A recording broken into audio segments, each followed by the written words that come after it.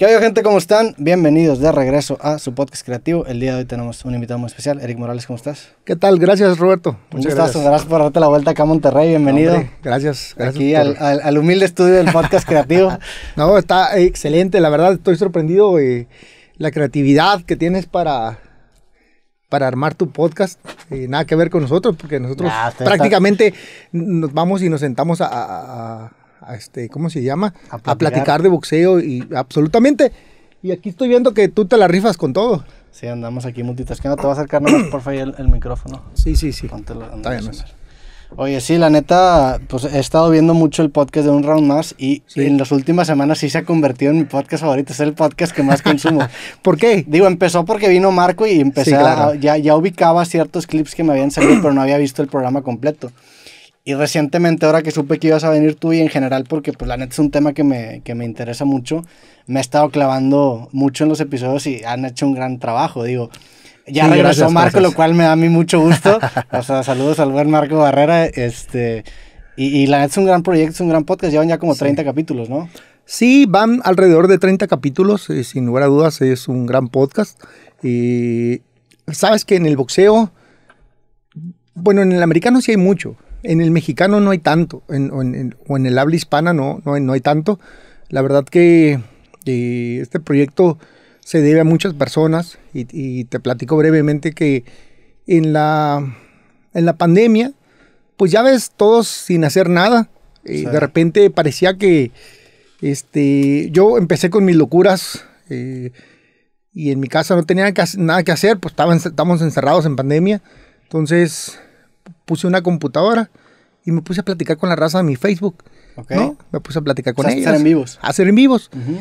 Sin ninguna idea de más allá de platicar. Y luego en la locura les dije, bueno, ¿qué les parece? Agarré un teléfono, eh, contraté un teléfono en Godari este, y se los di, que me llegaban a mi teléfono, sin que darles mi teléfono como tal Para que te puedan llamar. para que me pudieran llamar. Y empezamos a platicar, les, les decía, voy a contestar cinco llamadas. Sí. Y entonces me agarraba como loco contestando cinco llamadas, platicando con la, con la gente, de- con los fans del boxeo. Este, pues se me hacía divertido, yo no tenía nada que hacer. Pasaba pues encerrado ahí.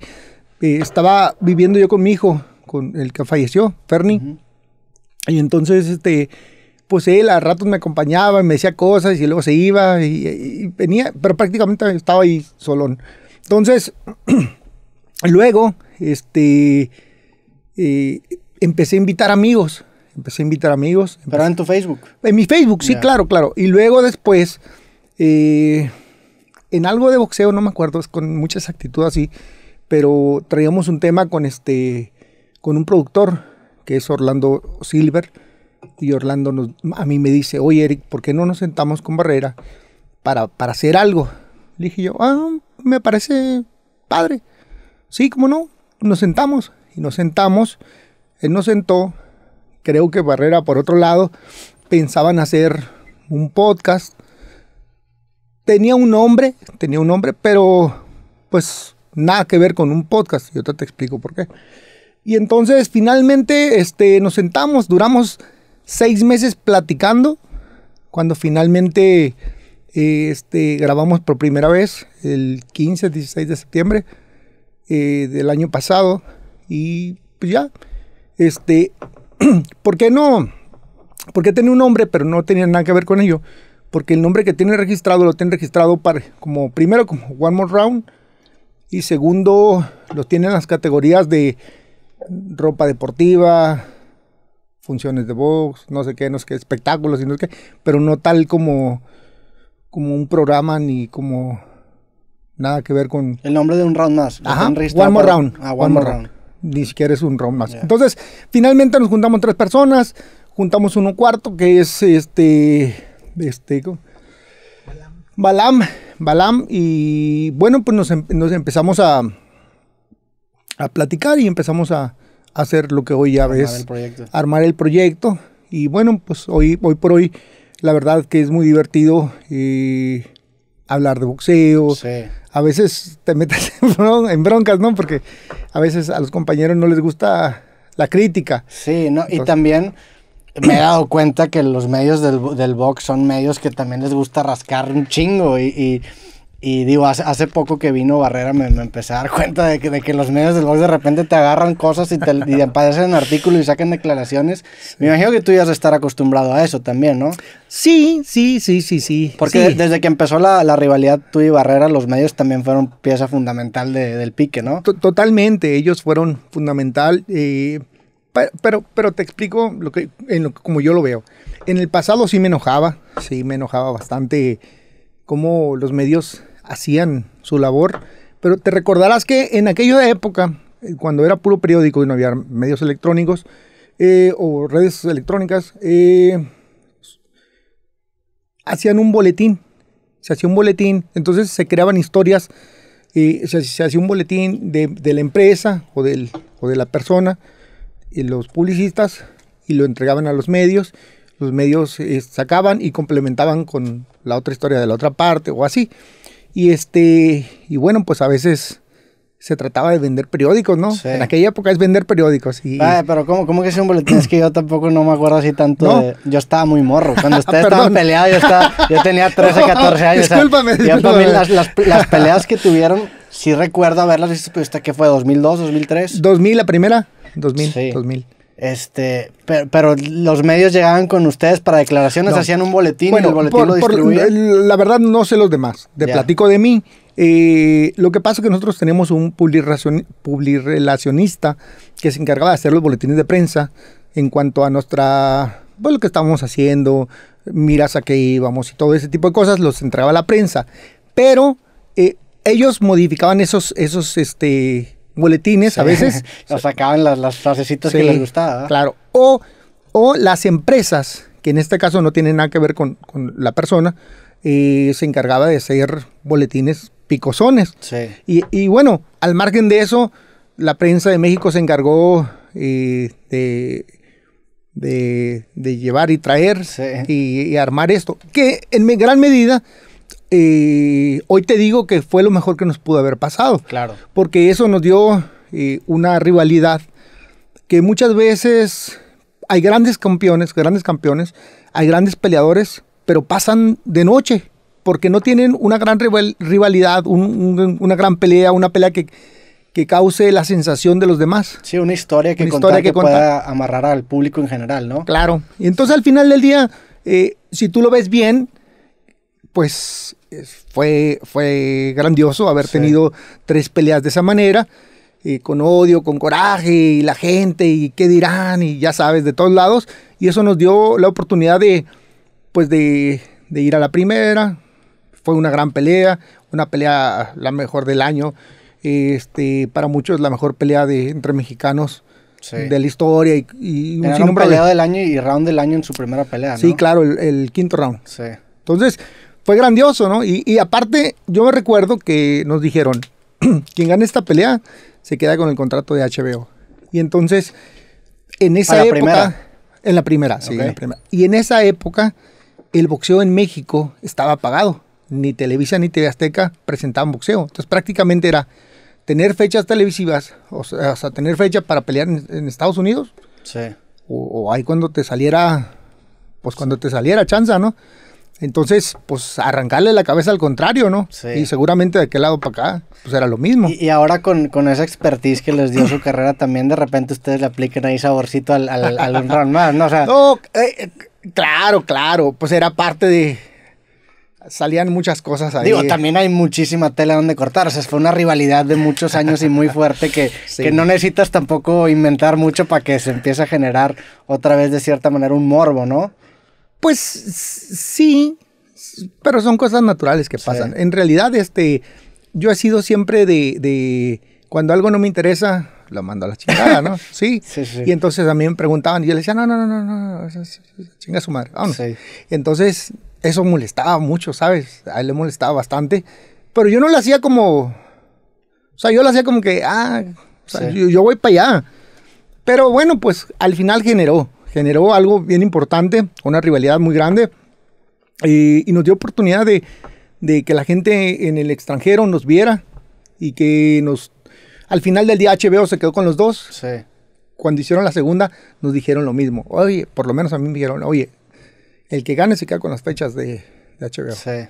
Va, juega. Y terminó la pelea, y la segunda, y nos, y nos quedamos los dos. Y en la tercera no, ya en la tercera ya, ya estábamos, Sí. ya éramos, ya éramos Ya alguien, ya estábamos ajá. establecidos, ya, ya éramos fuertes. Y ya prácticamente lo que pasara no, no era Sí. importante.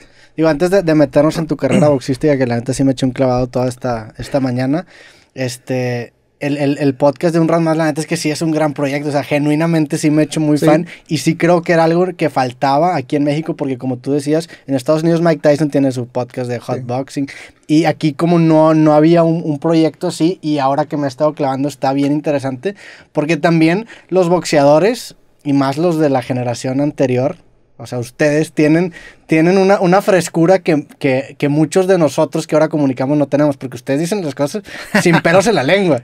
Y a Pues- veces, eh, tanto para bien o para mal, o sea, ciertos detallitos que, que, que a lo mejor tú dices que, que órale, o sea, yo no, yo, no, yo no lo diría así, así de tajante, que hacen que el programa se vuelva muy, muy refrescante. Por ejemplo, hace poquito vi que que hace, hiciste varias entrevistas. Sí. Ahora que tú estuviste conduciendo solo, hiciste con Margarito, hiciste con Oscar de la Hoya, hiciste con Julio Chávez. César Chávez. Chiquita Y, González, y, en- y- Maromero. Ajá, dijiste, hiciste varias entrevistas y como que no, tú no tienes pe- pedos en decir que no, en esta entrevista me gustó esto, pero no me gustó esto. Y eso es algo bien refrescante, o sea, es algo que ya no se, ya no se dice tanto, pero está bien chingón. Bueno, somos amigos todos. este, Sí, también me imagino que esa so- confianza so- te somos amigos y tenemos la confianza de, de, de- de, pues de expresarlo, ¿no? Porque al final del día no pasa nada, porque tampoco estoy ofendiendo. Claro. Y, por ejemplo, Chávez es mi compadre y, y- y entre la, la entrevista que hice con Chávez y la que hice con De La Hoya, eh, sin faltarle respeto a mi compadre, sin Sí, no faltarle queremos otras de- Sí, declaraciones sí, no no, no, no, y sin faltar el respeto a nadie, a- ni, ni siquiera a, a cualquiera de los dos. Ah, en lo personal, me gustó un poquito más la de la, el- la plática que tuve con De La Hoya, porque fue, fue más fluida, estuvimos hablando de, de boxeo netamente, tocamos aspectos de su vida, eh, pero, pero con calma. Sí. Y en el caso de Chávez, no sé, lo notaba así un poquito Pues difícil, ¿no? También me imagino que, que la, la sed de los medios de querer ser nota de todo también te dice que, güey, pues no quiero decir, o sea, no quiero volver a hacer una nota incendiaria. que para mí Sí. eso, eso sí fue un, un- o sea, sí fue un... Pues yo, yo nunca había estado expuesto a, la- a la prensa boxística en, Mexi- en México y sí es muy fuerte. O sea, yo creo que la única dio comparación... frío! Pues es que yo- a mí una- la única experiencia similar que me había tocado era como la prensa del rap, que también es como muy ama- Es amarillo, amarillista. Y la del box también se, se da un, tiro ahí, sí. Pues, mm, pues uno está acostumbrado, ¿no? Este, de repente, hoy en día hay, hay un, un par de gentes por ahí que eh, sí no, no hacen una nota muy agradable, ¿no? Lo, que, lo único que hacen es causar morbo, y echar a pelear a la gente y decir cosas que no son Sí. o, o distorsionar. Y no sé si es en realidad la persona que entrevista, porque la persona que entrevista como tal lo hace bien, pero la que edita se me hace que se avienta unas de Batman y Robin bien fuertes, ¿no? Sí. Y entonces digo, ah, Y- cabrón. Y, le mete, y le mete. Sí. No, este, yo hubo varias veces que después de verlo, Sí. yo lo grabé, ¿sabes? Yo lo tengo el programa completo. Y me fui al programa y dije, ah, cabrón, yo no dije eso. Sí, sí, sí. en- lo sacó de contexto.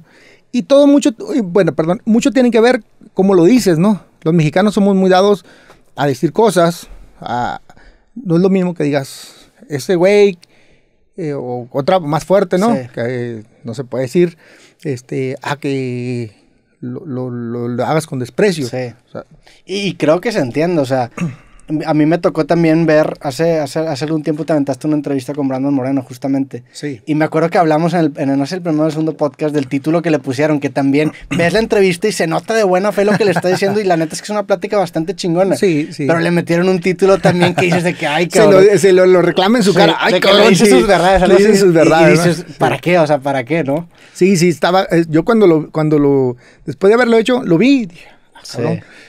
pues, ¿qué le dije? Ah, y me asusté un poquito, ¿no creas? Y ya lo vi bien. Dije, ah, es nada más la persona que, que, que subió la información Sí. y que lo puso como para llamar la atención, porque en realidad no, no, no, no, nunca hago pues nada malo, ni, Sí. ni le digo nada malo a Brandon, al cual yo creo que admiramos hoy en día en México. Este, y bueno, yo no, mi intención nunca fue a incomodarlo, ni mucho menos. Me preguntó, yo contesté, ¿no? Sí, sí, sí. No, y se, ve que es una plática de, de, buena face y fue una, fue, o sea, fue una, como yo, como yo como fan, fue algo bien chingón de ver. Al principio que empezaron el podcast, batallaste con este tema, de repente dijiste, órale, o sea, como que te, te, te dio un frenón algunas declaraciones o algo así que, que viste que se pueden sacar fácil de contexto.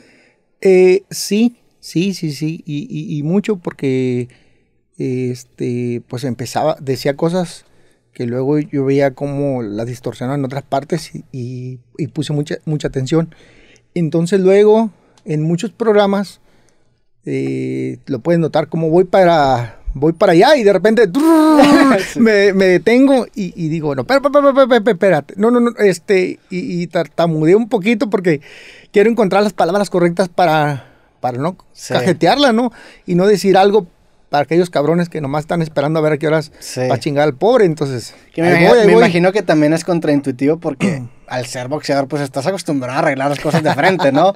sí, bueno, no, no todos, no, no todos. Y yo he visto que varios compañeros, es más, que han estado ahí conmigo, que no han tenido el valor de, de decir las cosas como son y que han ocupado otros medios para poder decir cosas que, que no son, ¿no? Y que y de otra manera, como no tienen nada que ver. Entonces, eh, yo soy muy directo, yo soy muy, este, pues, pues como soy, ¿sabes? No me vale madre. Y no es que me valga madre como tal, sino, a ver, vamos, como es la cosa, no, no, no hay que darle vuelta. Yo no tengo eh, ningún interés, ninguna eh, necesidad de, ser de una forma u otra. Yo soy como soy y la gente me conoce perfecto. Entonces, eh, este, sí, sí está, sí, sí es un mundo difícil. ¿eh? nuestra, nuestra, porque ahí todo lo quieren arreglar chingazos, ¿verdad? claro. Sí, entonces hay que tener cuidado. Sí, el, tema de ser entrevistador te, está gustando, sientes que le, vas agarrando un poquito más callo, te, te, has, te has visto que te desenvuelves mejor. O sea, este medio de, digo, ya habías hecho apariciones, pero en, en ahora, ya tener tu, programa y estar entrevistando constantemente, ¿te gusta? Sí, sí, pero eh, es diferente. Mira, yo tengo trabajando en, en, en, la televisión desde, del, desde el 2012, más o menos. ¿eh, y, bueno, trabajo para Fox en Estados Unidos, este, pero es, es más cuadrado, ahí no tengo que pensarle mucho me comporto, es, pues tengo que subirme a la, a, la, a la velocidad que están los demás, el, el, conductor como tal, y yo voy nomás lo voy siguiendo y, y, realmente no, no, me causa ningún problema. Aquí sí es más difícil porque como puedes decir todo y lo puedes decir crudo y puedes decir groserías, pues tienes que tener mucho cuidado. Como tal yo las digo muy, muy normal de, ay, que ese cabrón, así cosas así. realmente nunca, o según yo, no, las hago tan ofensivas, ni tampoco tan vulgares. Eh, y, no, y no porque y no porque me esté cuidando, simplemente no se me dan. Generalmente son los que utilizo. Pero eh, si le pienso un poquito más, si le pienso un poquito más. Me gusta. Eh, he hecho una serie de cosas, he escrito para este, opiniones eh, de, boxeo. Todo lo, todo lo que he hecho es boxeo. Escribo, este, bueno, pues en mis ratos libres ahora de pandemia, pues me agarré de entrevistador y luego ya. Y, de hecho le dije al productor, oye, güey, está muy pinche. Oye, espérate, cabrón, pues estamos en pandemia, pues nomás era un cáliz, ¿no? Y, cosas así, que hoy que lo llevé a la, lo que andaba haciendo cuando no estaba Barrera. Sí. Las entrevistas. Prácticamente eso era lo que andaba haciendo yo en, en pandemia. Lo mismito, lo mismito. Entonces, eh, sí le he agarrado sabor un poquito más, eh, este, está, entretenido, pero luego no creas, sí, sí me desespero un poquito porque al final no, es lo mío. Este, pero te desespera qué sentido? Pues que... Eh, que le tengo que pensar mucho, pues. O sea, lo mío es diferente. Yo voy más a la acción, ¿no? De entrenador estoy muy cómodo este, de boxeador, pues eh, comodísimo, ¿no? Pero bueno, ahí le intentamos, le hacemos. Eh, cuando escribía, por ejemplo, escribía notas y las hacía arriba del avión. No, ¿Por qué no me preguntes? Pero en el avión me salían al chingazo. Güey, sí, ahí como no tienes con qué distraerte. A lo mejor. sí. Entonces me agarraba con el celular, ta, ta, ta, ta, en, en una nota, ta, ta, escribía, ta, y luego la corregía, le iba corrigiendo, le iba corrigiendo, corrigiendo, y hasta que la terminaba de armar, ¿no? Me tardaba tram- el tramo México-Tijuana, tres horas en armar una, una nota, porque no es fácil criticar a los compañeros, porque no puedes escupir para arriba, tienes que cuidar muchos detalles, no puedes decirles cosas que luego los ofenden, un sinnúmero de cosas que, Sí. que es complicado. Entonces, también a la entrevista es, es muy complicado este, vacilar, decir, pero tener cuidado para no, no ofender, Sí. ¿no? Sí, me imagino que también el, el hecho de, de conocerse detrás de escena pues hace las cosas un poquito más fáciles porque pues también no es lo mismo que de repente alguien que no conozcas te empiece a, a decir cosas que sea alguien que también comparte en profesión, ¿no? Totalmente, y me causó un poquito problema porque algunas, algunas gentes, poquitas, pero sí, sí este, me dijeron, oye, le faltas al respeto a- al, al gran campeón. Pinche gran campeón, es compadre, no pasa nada, si sí nos llevamos, ¿no? Es que eso es lo chido de ese formato, o sea, son, son colegas Sí. que tuvieron carreras bien cabronas platicando de compadre y pues así como con tu compa que de repente dices, ah, no vales madre, o sea, es, es parte Sí. de, y es lo que le da la magia a ese formato. Sí, fíjate que, con- por ejemplo, con Chávez me, me contuve mucho, ¿no? Me contuve demasiado porque uf, la gente se ofende. es- y es un tema para que te odien por, una, por algo tan simple que, Sí. que no tiene sentido y no lo quieren entender. Mejor, mira, me mantuve, lo dejé, que dijera lo que él quería nomás. Yo me aguanté, me aguanté. Sí, sí, sí, lo que tú digas está bien. Eh, porque aparte, mi compadre, híjole, es, es bien difícil, ¿no? Entonces, eh, pero sí, sí, sí, en, en términos generales, si, lo, si me divierto, sí tengo que tener mucho cuidado, si, si la paso bien, eh, pues ahí voy, ahí voy, Sí. al chisme, al chisme. ¿Y Pero, pero sí aprendo, ¿eh? Sí intento ver programas como el tuyo y otro- de otros tantos para ver qué tengo que hacer, porque esto no es lo mío, Sí, ¿sabes? sacar, sacar ciertos recursos, sí. Sí. ¿Cómo, cómo es tu día a día ahorita? ¿Qué, ¿Cómo vives tu tiempo? ¿Qué haces en, en- en tu día a día? Pues en mi día a día, fíjate que estoy eh, trabajando con Fox, como te decía, eh, soy comentarista para Fox. De hecho, no nada más para boxeo, hoy me acaban de invitar a, a participar en un en este en unas peleas que son a, a- a mano limpia, Ok, sin, sin guantes. sin guantes. Las- pero con el vendaje, este, no, no es como. no es que se como- llama bare knuckle, ¿es esa? Es bare knuckle, No, sí. está bien cabrón Está bien cabrón. Sí, sí te has aventado Yo- esas sí, peleas. sí, me las, me no las- mames, me yo sí las he visto, sí están muy fuertes. Están muy fuertes, pero me gusta más que, que el UFC. Ok. Te explico por qué. Brevemente, porque eh, es, es boxeo con mano limpia, este, pero, pero no se lastiman los pies o no, Sí. no van a los codazos o a, o a castigos. Y eso me da, eso sí me da desesperación. ¿no? Yo Sí. tengo claustrofobia, entonces me da como veo y, y siento. Ah, sí. sí. entonces eh, esto, esto lo divier- eh, me divierte mucho. eh, me parece un poquito. eh, durón, pero, Sí. pero está divertido, ¿no? Está, es eh, casi, casi el boxeo, un poquito más rudimentario, pero Sí. boxeo. ¿Qué, qué tanto cambia el, el- el no usar guantes a la hora de defenderte? Me imagino que muchísimo, ¿no? Porque hay ciertas formas de defenderte que me imagino que no aplican también si no tienes... Pues, eh, pues pensándolo así como me lo explicas, que no lo había pensado, eh, mm, pues no, O sea, un Mayweather, por ejemplo, sufriría mucho en, en- en algo así, ¿no? No, yo creo que no. Ok. Porque, porque, por ejemplo, yo alcanzo a apreciar, me aventé, si no mal recuerdo, como ocho peleas. eh, eh, llevo una vez, me toca dentro muy poquito.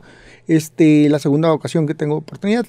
Y lo que alcancé a ver, este, mm, su técnica no es muy definida. Son gente que viene de UFC Sí. y- o gente que no pudo ser boxeador y, y se metieron a, a este y que no, no, no les fue bien en UFC y se vinieron para Creo, acá. creo que hubo una pelea en esa organización de, de Po- Poli Milenagi, ¿cómo se llama ese güey? Pauli, eh, mi- mi- sí. Era, era campeón, sí. Ma- Con, con, con Artem Lobov, que era uno que venía del UFC, que era compa de Conor McGregor. Y estuvo buena esa pelea, creo que ganó Artem, que fue que dio como la sorpresa. Sí, Sí. En, en, en, en, en, en, En bare Knuckle- knuckle, sí. Knuckles. Fíjate que no, no, no. Esa lleva no rato, sabía. lleva rato. como uno o dos años. Ok, este, yo lo que alcancé a ver es que la, la, la, la técnica que tienen no está muy definida, no, no caminan mucho, su defensa es muy nula, más bien piensan en cómo atacar que más allá de que defender. Eh, solamente vi un solo peleador que manejó los pasos laterales, quitarse, moverse. Y en realidad, mm, no. los, los, veo de repente muy limitados, pero los, los pocos que lo saben hacer, lo hacen muy bien. Un inglés, no me acuerdo el nombre, pero se vio. El otro estaba fuerte y era venía del UFC y este venía del boxeo. No le había ido bien, pero se veía más flaquillo, pero no, lo bailó. es que la, técnica de striking en boxeo es completa, eh, perdón, en, MMA es completamente distinta, ¿no? O sea, es menos, me imagino yo, digo, no soy ningún experto, pero que es menos pura y también pues estás pensando en el derribo y estás pensando en otras cosas que, que no te permiten... Es que prácticamente el, el, este, este deporte, el vernacle, es, este, es boxeo y la única regla que cambia es que cuando, cuando estás en, en corto, en, en, el clinch, lo puede, le puedes golpear con la mano abierta. Okay. Fuera de eso, no hay derribes, no hay codazos, no hay cabezazos, no hay rendición. O sea, es boxeo. Sí. Es boxeo, es técnicamente es boxeo. ¿No? Eso sí está bien largo, porque creo que son cinco, cinco minutos. Ay, yo con tres me ando muriendo, imagínate con cinco. Pero luego también acabas bien lastimado, ¿no? Sí, terminas muy lastimado, pero eh, según lo que yo entiendo, y te, lo explico, es que eh, no es tan peligroso y te explico lo que yo alcanzo a entender a lo largo de, preguntas y preguntas, ¿no? Eh, el guante, el guante, el vendaje, el guante es un, es, un poquito más acolchonado, son 8 onzas y hay, hay boxeadores, dependiendo del peso, es de 10. Entonces cuando tú pegas, eh, tendrás que pegar muy fuerte y lo noqueas. Fuera de eso, es un castigo muy constante por eso de repente luego en el desgaste, cuando las peleas son iba, eran a 15 rounds, ¿no? sufrían mucha deshidratación, por eso esos cambios del de, pesaje de, de, 8 horas antes a 24, por eso ese, ese cambio de, del pesaje de, perdón, eso es el pesaje de los guantes de de los guantes eh, eran 6 onzas, lo pasaron a 8 y de 15 rounds lo bajaron a 12. Esos detallitos hacen que sea más seguro. Pero eh, en, el, en el Bernacles es un golpe, lo lastimas, cae y ya, se acabó. Y el boxeo es constante y eso es lo que a veces nos daña más. ¿Cuándo dejaron de hacer las peleas a 15 rounds? Lleva... Eh, con los me imagino que 12 es una locura, ¿no? O sea, 12, aguantar 12 Final, Finales de los 80, principios de los 90, 90 y algo, va a tardar. ¿A ti te tocó alguna vez pelear a 15 rounds? No, no, no, no, no, estoy tan viejo, no estoy tan viejo. Pero pues a lo mejor en alguna de las peleas, o sea, en los 80 se dejó de hacer. En los finales de 80 y si no mal recuerdo, el último que yo vi, por lo menos que yo vi, fue Maromero Páez contra Calvin, Grove en, en, en Mexicali por el Campeonato Mundial de la FIF fue la última pelea que yo creo haber visto que vi a 15 rounds. ¿Y 12 rounds se te hace una, buena cantidad? ¿Se te hace mucho? No, sí, es, una muy buena cantidad, pero, pero sí terminas muy desgastado. Y, este, y sobre todo cuando sufren mucho para marcar el peso, es cansado. Claro. ¿Qué, y, qué tan ciertos son estos rounds de estudio? O sea, porque también me imagino que tener 12 rounds, pues de cierta forma te bueno, pero tú nunca fuiste un, peleador que le gustaba mucho llegar a los jueces, ¿no? O sea, de, llegar, dejárselo a los jueces, ¿no? Pues. O sea, te medías tú en los primeros rounds para poder aguantar al final. O sea, ¿qué tan cierto es eso? Pues mira, eh, es que tú llegas a la pelea y lo que tú haces, por lo menos lo que yo hago, este, era medir a mi rival, porque entre el video y la realidad, pues hay una diferencia muy grande. Y luego, este, pues tú cuando estás ahí ves la velocidad, la reacción, eh, cómo viene, lo, vas moviendo, lo caminas, le tiras un golpe a ver qué reacción tiene, buscas tirar ciertos golpes que él va a tirar la reacción de sus golpes más fuertes tú lo vas checando, vas analizando, vas haciendo ajustes. Eso era lo que yo hacía en, los primeros rounds. El primer round sobre todo, ¿no? O sea, vas tirando como feints para ver cómo reacciona y ver... Pues vas, vas, moviendo, le, tiras a la mano, le tiras el chap al, bien, a, intentarlo eh, pegar, le tiras al estómago, lo, mueves, lo caminas, lo finteas, haces un sinnúmero de cosas para ver qué hace, ¿no? Porque pues hay y, si pega más, y si pega fuerte, pues todavía más, hay, que, hay que saber que tienes enfrente. es por eso, mira, en la pelea Paquiao, Paquiao, el primer round, eh, a mí me decían, pega bien duro. Yo decía, bueno, pues vamos a ver, ¿verdad? y, y, no te acerques, camina, muévete. Este, mi papá era mi entrenador, Eric, muévete, no te quedes. Y vamos a ver, este, pues revisa, ¿no? Analiza, ve, ve las oportunidades y, empieza. Ok, y entonces salí. Y si te das cuenta en el primer round, de repente eh, me tira un par de golpes, me hago para atrás, se me deja venir con todo y lo aguanto un poquito. Pa, pa, pa, pa. Y lo que yo hago es irme sobre de él, por muchos, muchos, muchos conceptos. Uno, porque eh, tenía que, que, hacerle ver que, había, que tenía que respetar. O sea, que no nomás era así, cuando yo quiera, no, no, espérate. A ver, yo también vine, güey, espérate. Uno, dos. O sea, le tenías que enseñar que tú también tenías poder para que te respetara. para que te respetara, ¿no? Dos, eh, yo en ese momento no lo sentí tan fuerte. Me llegó y me llegó con, con uno de los golpes y no sentí como que, ay, ¿no? Entonces yo dije, pues puedo, vamos. Y me, me, empecé a ir a, con todo. Entonces, él también entendió esa parte y se quedó un poquito atrás. Y ahí empezamos a mediar quién podía mandar la pelea. y empiezas a pelear por quién puede controlar el ring, el medio del ring. En este caso, eh, se me ponía difícil y lo llevaba y lo, se lo quitaba y lo iba, y ahí iba, mediando, ¿no? El, poder.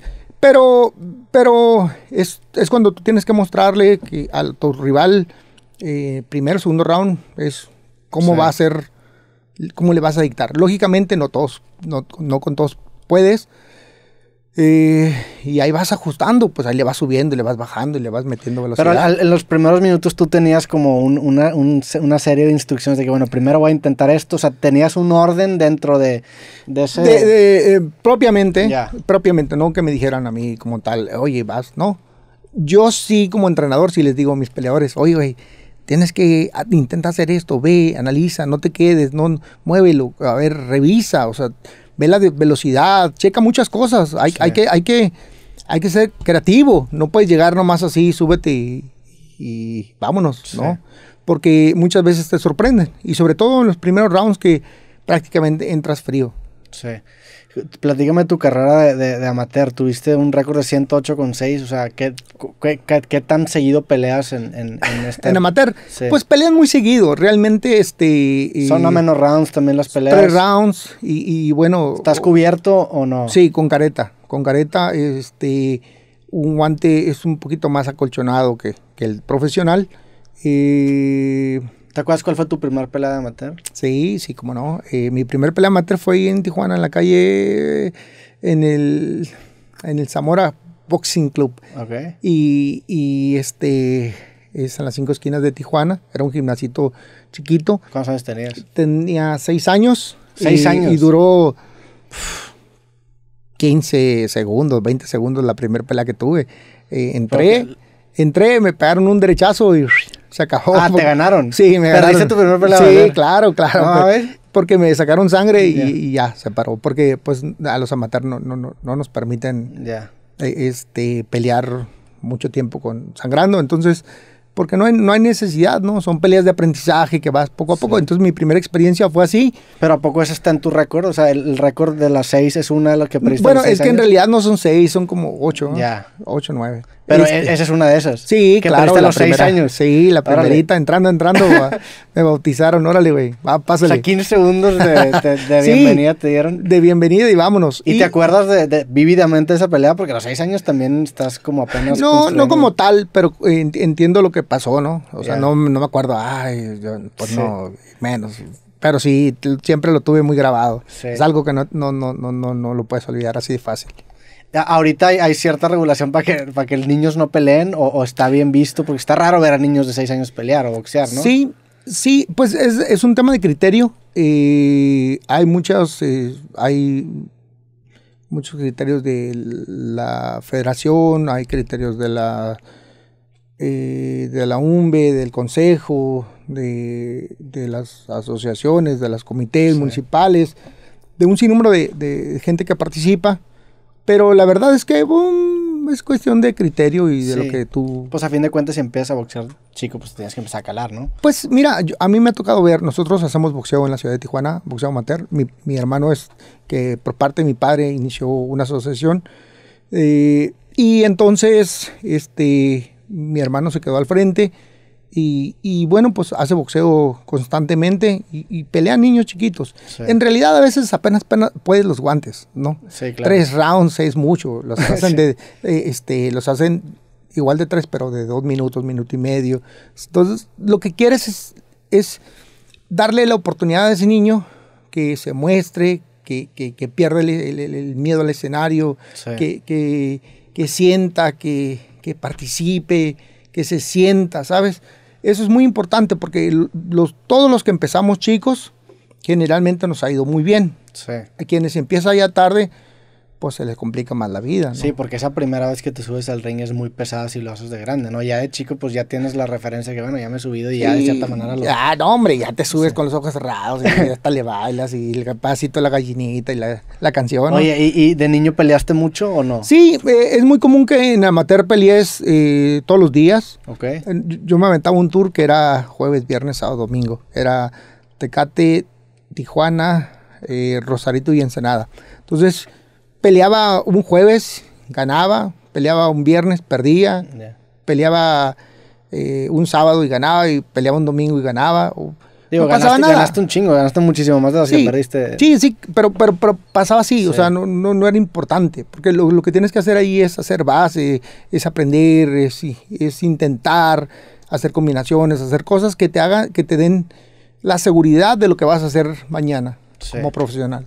¿Empezaste tú en el boxeo porque acompañabas a tu papá al gimnasio? Sí, ¿Tu papá era boxeador? mi papá fue boxeador en los 70s, 80s, y entonces, este, te miento porque no sé, no sabría decirte este, en qué concepto me llevaba, pero no sé si le decían, ahí ya el niño, o, o- o decía, vente, vámonos. Y, y el hecho es que, pues llegaba al gimnasio y vagamente así recuerdo que era, pues jugar, ¿no? Sí. Re- realmente no era como que formalmente me ponía a entrenar. Sin embargo, sí me acuerdo que a la edad de como 8 o 9 años ya, ya me dedicaban más tiempo y ya tenía que hacer ciertas cosas como caminar, movimientos, mantener las manos, eh, eh, ciertos movimientos de, de- del golpe, con técnica, definición, muchas cosas. Y ahí sí me acuerdo que varias veces me hicieron llorar, puta, varias. De que, En el entrenamiento. en el entrenamiento porque no podía hacer lo que me pedían. Entonces,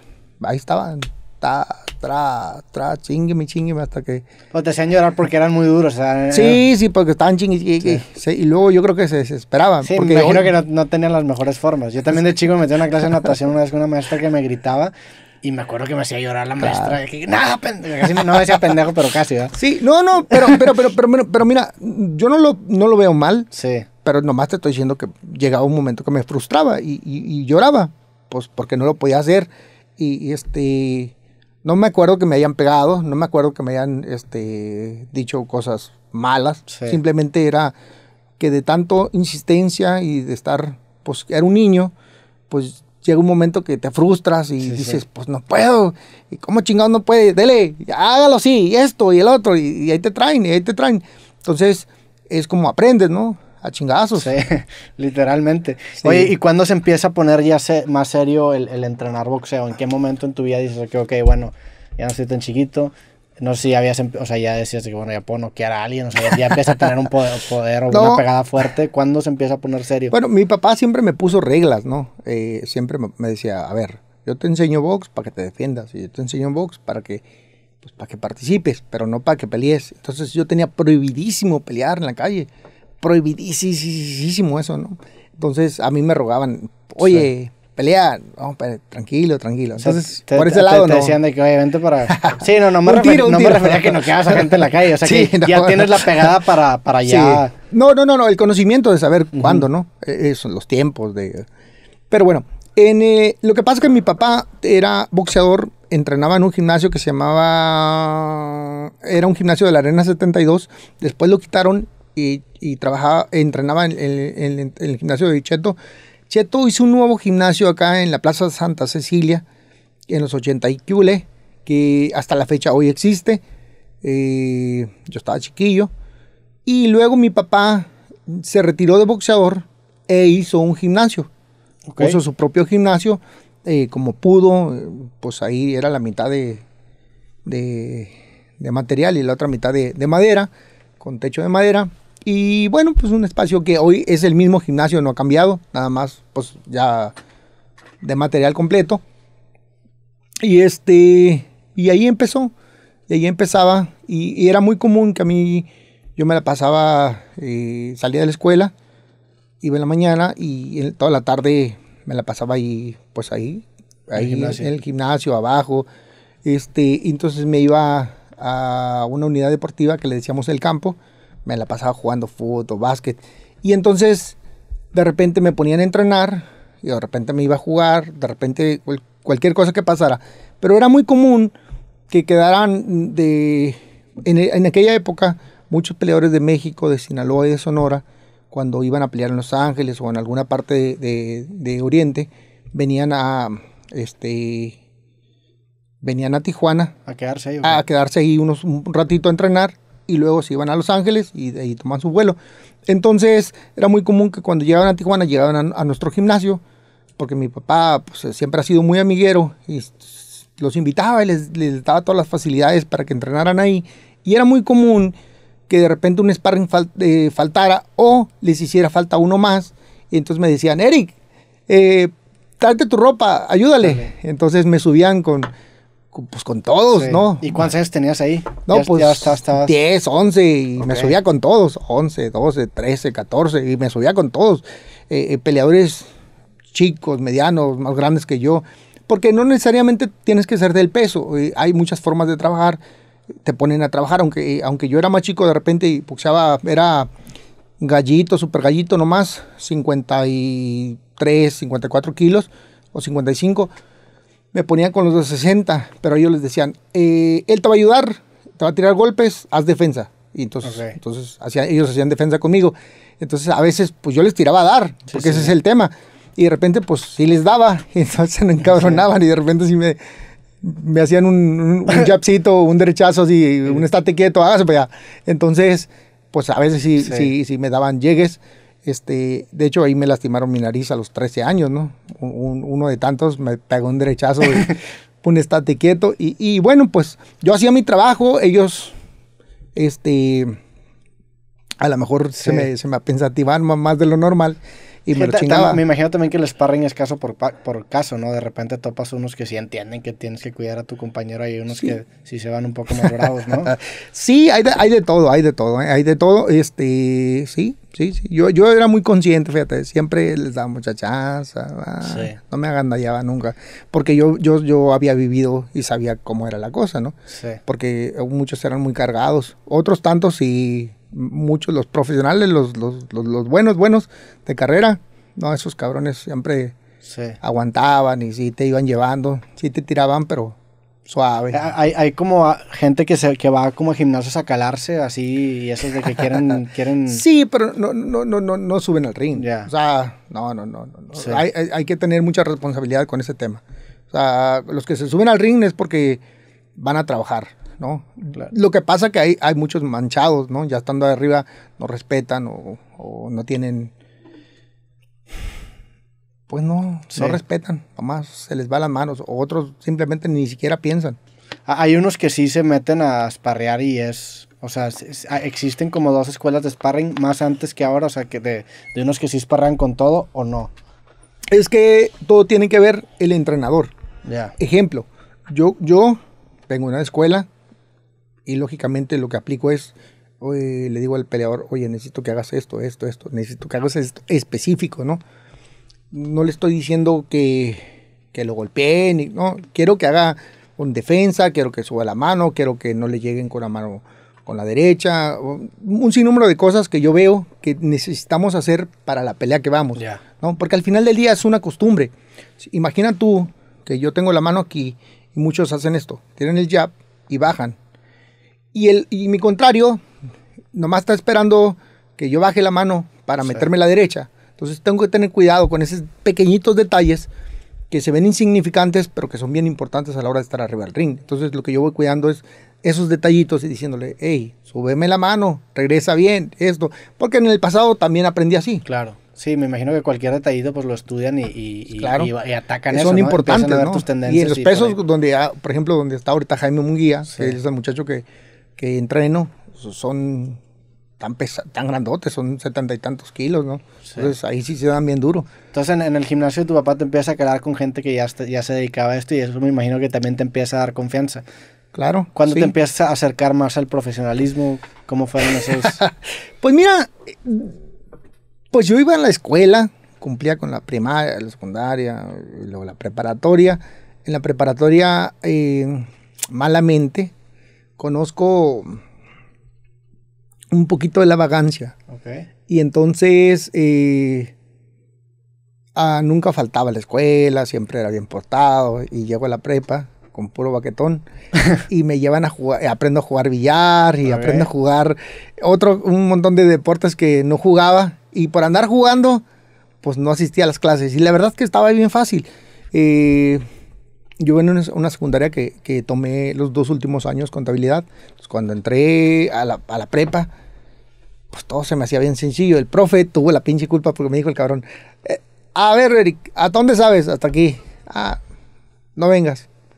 Y, y entonces me dejó el güey. Entonces yo... Pero te dejó ¿por qué? porque te- sabía que te porque dedicabas me- a boxear. porque- ¿o? no, no, no, no, no, no. Ah, No, nada no, no, más no. dije, ah, Entonces ya. digo, no, ¿para qué la. Entonces, este, cabrón, así me tuvo. Y eso, eso... ¿Pero qué clase era eso? Eh, este, matemáticas. Ah, matemáticas. Y entonces el cabrón me dejó ir. Y ya, y se me hizo Pero fácil te andar dejó de ir sin aprobar nada, nada más... O sea, ¿cómo, cómo te preguntó hasta dónde sabes? Nada más Ah, porque cuando, cuando él veía que cuando preguntaba, Mm. pues de volada le contestaba y todo muy rápido. Entonces Ya. me dijo, a ver, ven para acá, cabrón. A ver qué sabes. Oh, pues yo sé esto, esto, esto, esto, y hasta aquí. ¿Y por qué estabas adelantado tú?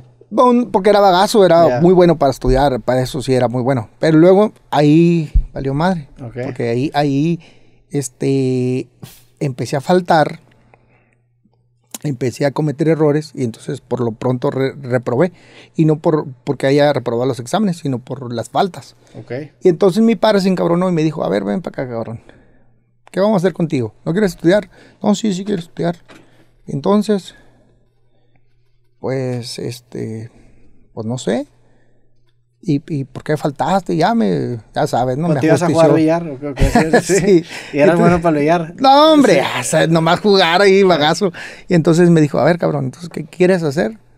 Y total que, pues, quedamos de que íbamos a estudiar. Y, y un día, porque literalmente fue así, un día, este, había una, una comida en mi casa. Yo iba llegando y iban saliendo muchos amigos de mi papá, varios reporteros. Y entonces me dijeron, oye, qué bueno que vas a debutar. Ah, cabrón, voy a debutar. Tenía, iba a cumplir 16 años. Mm, No lo sabía. Bueno, sí, sí, ya. Entonces entré y mi papá estaba este, este, Enfiestado. enfiestadón Ok. a leer el Señor. Y entonces, este, pues yo dije, ah, cabrón, pues ya me medio dijo algo, pero la neta cuando, cuando estaba tomado le daba vuelta. Entonces Sí. me subí a mi cuarto, no tocamos el tema y a los Pero días pues ya, ya te lo esperabas o no? O sea, te estaba No. yendo bien. Mm, Estabas ganando no, muchas peleas. No, no, no. ¿No? No, ahorita te platico un poquito de la mater y te- porque también yo creo que él tomó esa decisión. Este, y entonces, pues a los demás días hablamos y me dijo, ¿sabes qué? Este, te voy a preparar para debutarte. Ah, bueno. Este, me regreso un poquito. En los, en los tres últimos torneos amateur y me declararon campeón sin pelear. Porque Como el profesor de la, de la prepa. Sí, sí, sí. Por- porque no querían pelear conmigo. ¿Por qué? Pues, pues no, no querían pelear conmigo. Entonces me, era gallo. por, por miedo.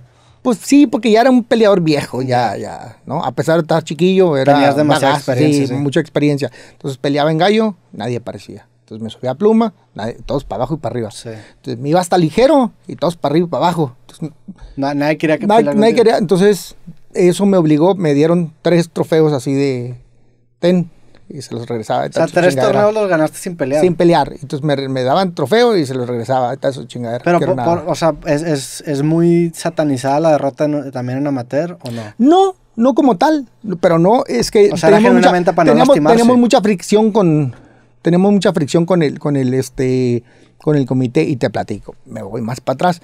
Lo que pasa, la única vez que yo tuve oportunidad de ir a un nacional, eh, Baja California y en particular Tijuana, cuando estaban haciendo su selección, yo no estaba en sus planes.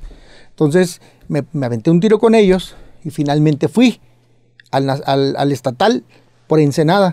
Okay. Tijuana retiró su gente, fui al Nacional, pero pues no por Tijuana. Entonces al final del día eh, me salí con la mía y a partir de ahí me apretaron el buche, ¿no? Ya no me dejaron participar. O sea, ya ellos arreglaban todo y me hacían un ladito.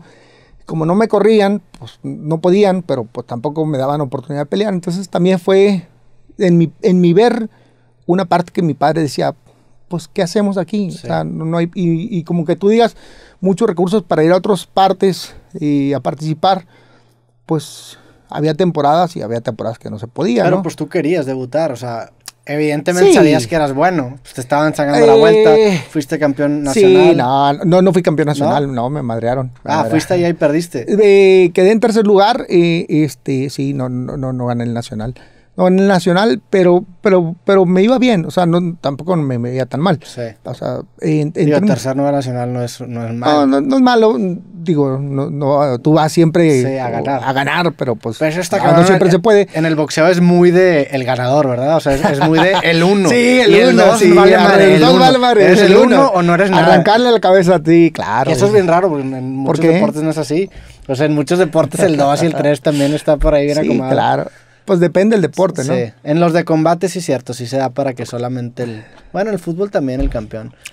pues sí, en todos lados, hombre. En todos, lados, somos así, Pero el somos egoístas. El problema es que aquí nada más hay un cinturón, o sea, por ejemplo, en, el Sí, en nada más hay un campeón. Sí, nada más. Nada más hay un campeón y 30 clasificados. Entonces, este... Pues ese fue uno de los motivos. Yo, te soy honesto, pues me daba miedo, porque yo veía al profesional y pues yo veía varios y de mi peso no, hombre, están bien duros. O sea, los, los, los, los chingones, los campeones mundiales están bien duros. Y pensar llegar ahí, pues lo veía como algo uh, lejano, muy lejano, ¿no? Entonces. Pero posible, ¿lo veías como posible o no? No, no, no, pues cuando tienes 16 años.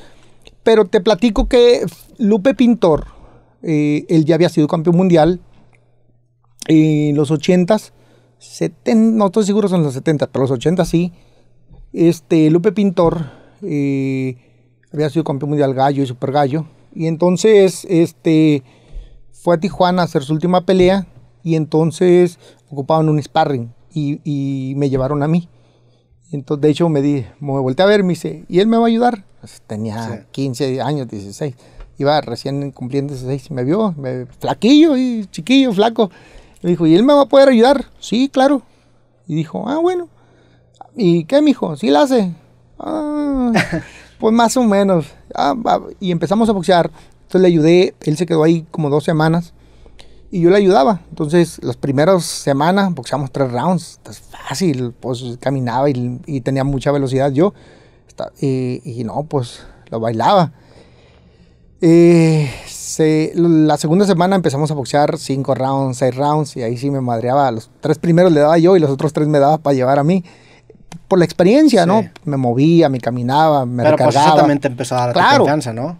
Claro, mucha, mucha. De tal manera que yo había debutado con mucho temor y cuando este, este Lupe estaba ahí, a mí me dijeron en el pesaje, Eric, el pesaje era el mismo día, eh, ocho horas antes, a las 12 del día. Me dicen, Eric, este, pues no hay nadie a cuatro rounds.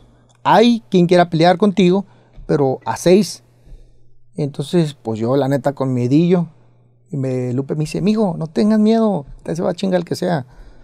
Bueno, si este güey dice, pues ven, órale pues, le dije, no, no, no, mejor no. Hay uno, pero de ocho. Y me dice, no tengas miedo, al que sea, tú aviéntate el que sea, lo vas a madrear. O sea, le dijiste que sea el de seis, el de seis te dijo no. Que no. Y luego, me dijeron que uno a ocho. Y yo dije, bueno, pues a ocho. y, este, y me dijeron, no, no se va a hacer a 10. No sé si era meterme miedo o algo. Yo les dije, y me dijo, el que sea, cabrón, usted aviéntese, usted no tenga miedo, usted se lo va a chingar a todos. dije, bueno, pues si me lo dice este güey, que ya fue campeón del mundial, pues sale. Entonces, no se dio, esa semana no peleé, peleé a la siguiente peleé 10 rounds. Hice yo 7 peleas a 4 rounds y mi, y mi octava pelea fue a 10 rounds. Ese fue tu debut como profesional. Profesional. Ok. Entonces, prácticamente eh, tuve mucha, muy poquita oportunidad de, de, pues de foguearme en el profesional.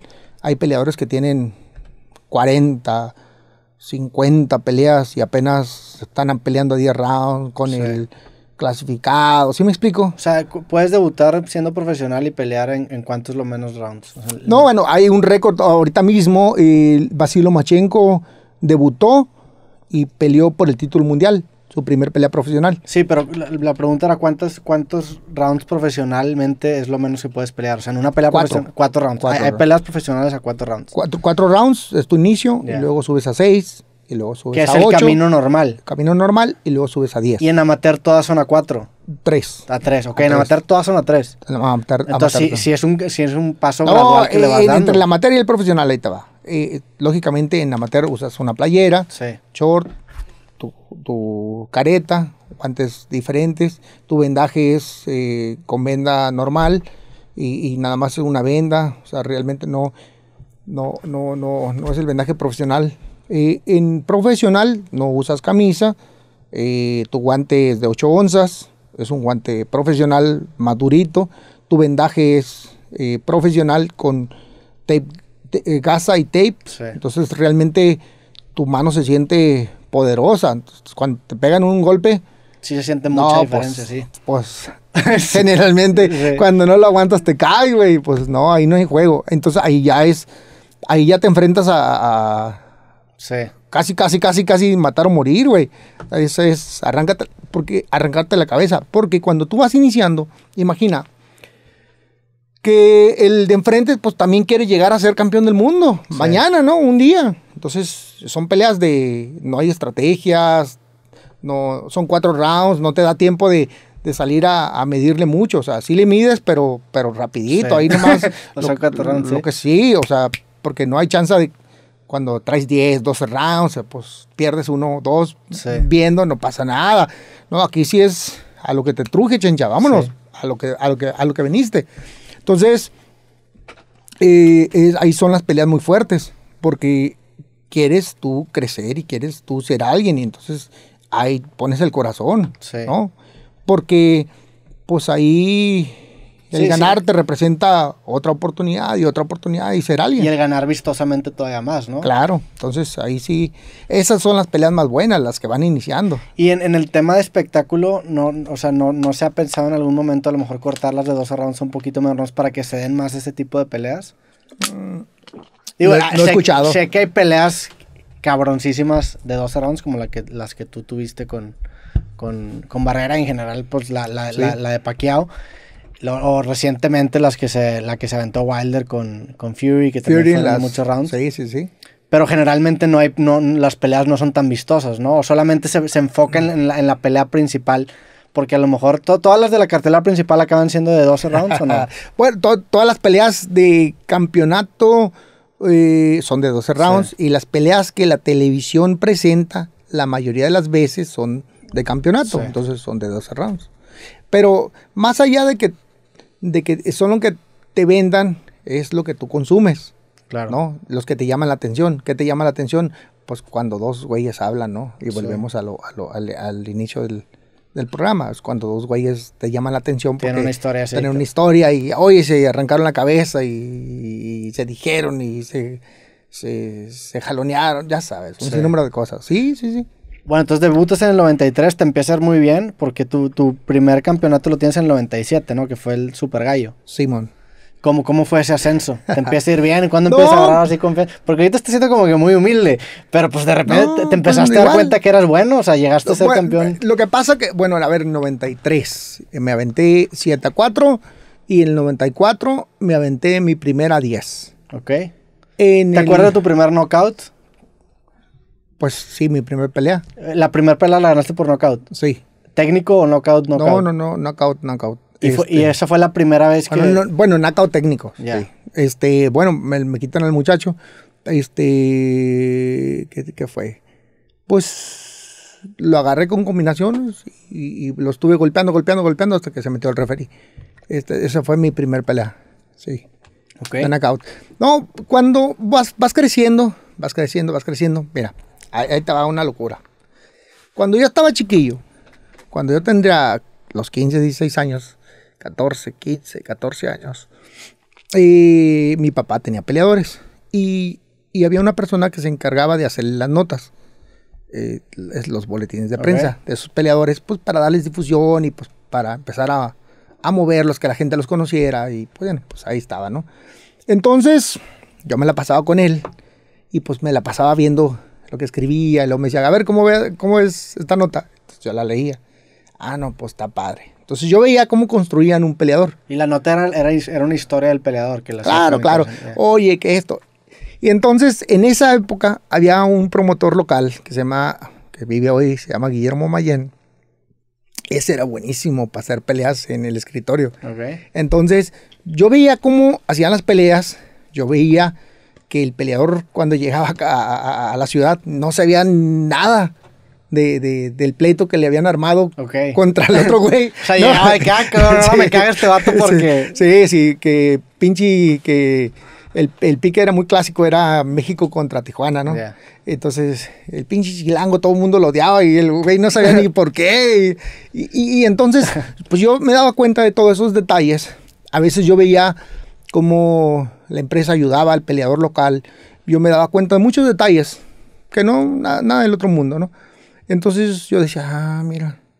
Entonces, pues cuando uno está chico, está loco, alucina y cree pues en la pureza, ¿no? En yo quiero ser chingón y quiero, quiero llegar ahí sin la ayuda de nadie y este y sin, sin que me cuiden esos, eh, sin que me den esos cuidados, sin que me den esa atenciones, no las necesito, yo soy cabrón, yo soy chingón. Sí. Y entonces, pues yo juraba, ¿no? Que, que- que yo podía con todo. Entonces yo pedía ciertas peleas.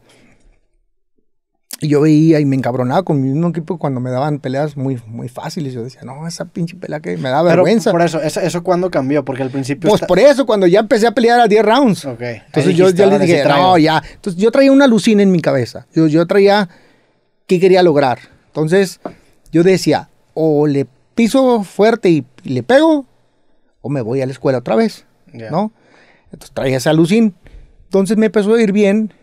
Pedí unas peleas, eh, muy en particular. en la pelea número 13 me pusieron a Pepillo Valdés, un peleador de, de Sinaloa, eh, que ya había sido, había disputado el título mundial, ah, empató, eh, era un peleador de nivel, pero pues ya tendría como 28, 30 años. Yo apenas tenía 18, iba a cumplir o acaba de cumplir. Entonces, pues yo me dijeron con él. Y yo lo veía y yo decía, bueno, y él estudiaba, ¿no? Ay, cabrón, pues, pues está durito. Y aparte de 28, 30 años está en su... Sí, en está, sí, está fuerte. Yo decía, bueno, pues, pues chingue su, pues va, juega, ¿no? Y entonces le gané. Y y yo creo que es la pelea más dura que he tenido. Que luego la gente se encabrona conmigo y me dice, no, la pelea más fuerte que tuviste fue con Barrera. Espérate, güey, sí, Sí. sí. estuvo fuerte esa, pero acá, acá me traían de poste a poste chingadazo. Ok. sin, sin, sin, sin chance, porque era un peleador experimentado, que ya sabía, que tenía experiencia, y yo prácticamente era un joven, pues, que soñ- un soñador, ¿no? Sí. Que, que, que alucinaba, pero pues que apenas ahí iba, y que había entrenado, y que había, todo lo que me dijera, que, lo que ya te conté, pero pues era un proyecto, ¿no? Y entonces a mí me lastimaron mucho, y allá por el... ¿Estabas nervioso en esa pelea? Sí, como O sea, no. es de las que más nervioso has Pues estado no, pues ya es que cuando ya, ya estás ahí, ya estás ahí, pues ya te olvidas de todo. Pero pues Pero en el antes, camino al- al ring- claro. Eh, Bueno, en todas, yo en, ¿En todas, todas. sí? Sí, todas me dan mellitos. Pues es que Yo, como no, cómo no te va a estás con otro ¿Te güey que vas a cantar un un tiro loco. con alguien? Sí, aparte no contra cualquiera, Te van a agarrar a es un ¿cómo- loco, sí. ¿Cómo, cómo no vas a tener miedo? Entonces, eh, él me estaba paseando y llegó un momento que dije, espérate, güey, yo también vine. Y, y me planté, le gané en ese round, en el octavo round le Lo gané. noqueaste. Lo noqueé, eh, técnicamente lo, eh, me fui, me fui, me fui, me lo, lo presioné más, más, más, más, hasta que el referee llegó un momento que ya, ya no respondía y le pararon la pelea. Gané y luego me pusieron un maletón, pero maletón, así, muy malo, malo, malo, así, un güey de Puerto Rico, este, Ricky Hernández, hijo de la chica. Me suben con él, Le hago una finta y sube el pie. Así como, ¡ah! Sí, como si Sí. como, pues... Eso, eso es, digo, yo probablemente subiría el pie si me das una finta, pero eso es un- una señal de novatazo. ¿o Sí, novatazo. Entonces, puta, me le dejé ir, lo noqué en el, prim- mismo, el mismo primer round y me subí bien encabronado porque toda la gente me rechifló. Sí. Pues toda la gente se, lo entendió, lo vio. Pero ahí tú qué tanto tienes que ver con que te hayan puesto ese. O sea, de repente te lo ponían de que, oye, te toca un descansito después del tirote que te acabas de aventar. Sí, sí, te toca. A lo mejor eh, desde el lado promocional eso, eso pensaron y eso hicieron. Sí. Pero desde el lado de mi locura, pues para mí era algo que no me gustó. Entonces eh, me subí al vestidor y eché madres y empecé a pelearme con mi papá y con, con el promotor, que era en ese tiempo Fernando Beltrán, y les dije, ni madres cabrones, oye, yo me mato, me doy unas putizas para el peso, para Sí. marcar 122 libras, 55 kilos, y ustedes me salen con un- una chingadera esta, la neta no se vale. ¿Dónde? No, y ah, me peleé con ellos. Batallabas, cabrón, para ese peso. Puta madre. Eso es lo más, lo más ligero que llegaste a pelear, ¿no? Más ligero. 122. Ya pro- como profesional, sí. Sí. Sí, este, no, me No, es que mataba muy cabrón. 122 libras, ¿cuánto es? 55 kilos. Sí, está bien, cabrón. Sí, sí, no, no, no, era la muerte. Entonces, en la siguiente pelea, les pedí a un güey que yo veía en la televisión, que se llamaba Enrique Júpiter, que recién acabo de subir en mis redes eh, la pelea con él. Eh, La encontramos ahí en un, en un estudio que fuimos la- y la subiste. con. Guillermo Mayén. La vimos, se la pedimos, la subimos y ahí, ahí están mis redes sociales. ¿no? Entonces, esa pelea me dio la oportunidad de alucinar que sí podía, porque él ya era un peleador eh, hecho y derecho, de, probado a nivel nacional, con la mayoría, la mayoría de los, de los peleadores de todos lados. Era un chilanguito que son bien duros. Era 5, 4 o 5 del mundo. Y yo, pues no, pues yo estaba ahí en la esquinita, ¿no? Entonces yo les dije, con él, con él. Me decían, te va a madrear, güey. Los convencí, me dieron la pelea, gané en 6 rounds. Y esa fue la que me hizo alucinar que sí podía. Ahí, ahí te la empezaste ahora sí. A re- creer. Ya. Sí, a decir, ah, no, yo sí, sí, sí la hago para esta chingadera. Pero hiciste literalmente, o sea, ahí antes de esa pelea como que estabas en duda y luego ya agarras como, o sea, ¿qué tan, qué tan importante es tener esa confianza tú como boxeador para poder aventarte esos tiros contra estos? Pues, pues no como en duda, más bien estaba sin probarme, sin saber cómo, sin saber que si sí o no, no como duda, que, que- que entiendo que pareciera lo mismo, pero no, porque no, no, no estaba como que, ay, seré, Sí. la armaré, no, no, era como que hacía lo que me tocaba en ese momento y como que estaba esperando mi, Sí, mi el, chance el para calarme, sí, de probarme, ¿no? Ah, Sí, como ahora ya tenías el precedente de, bueno, mira, sí pude, ¿no? Sí, sí. Entonces ya con eso me aluciné y yo dije, no, sí la voy a armar. Sí, sí, la voy a hacer para pelear. Sí, sí, sí, sí. Y más porque desafiaba mi, mi pinche esquina. Ok. Porque me decían, no te le pares, te va. Porque pega bien duro, no te le pares. Y yo me paraba, ¿no? Ta, ta, ta. El primer round me le paré al final del primer round. Y entonces me regañaron llegando a la esquina, me pegaron un cachetadón y me dijeron, no te le pares, camina, muévete, hazme caso. Chingada madre, porque si no te van a noquear. Y esto y el otro. Y, puta. Y ¿Y bueno, por, por qué te le paraste? ¿Nada más para dar la No, cuenta a tu pues eran diez- no, eran ¿O diez- por- porque en el No. momento era de que sí le voy a ganar, o sea, ¿por no, qué? porque faltaban 10 segundos. Eh, nomás me había tocado recibir golpes y recibir golpes en, en el camínale y camínale. Y yo le dije, bueno, pues yo también vine. Déjame ver, a ver qué. La velocidad, la fuerza, a ver, a ver qué trae, Sí. ¿no? A ver cómo aguanta. Y prrr, me dejé ir, le subí el volumen y, y la velocidad.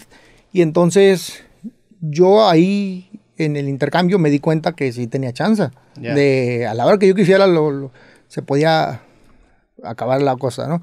Pero no, me pegaron un regañadón, me una cachetada y me dijeron el segundo round, atrás. Salí en el segundo round a darle vueltita, a caminar, a moverme y a hacerme güey.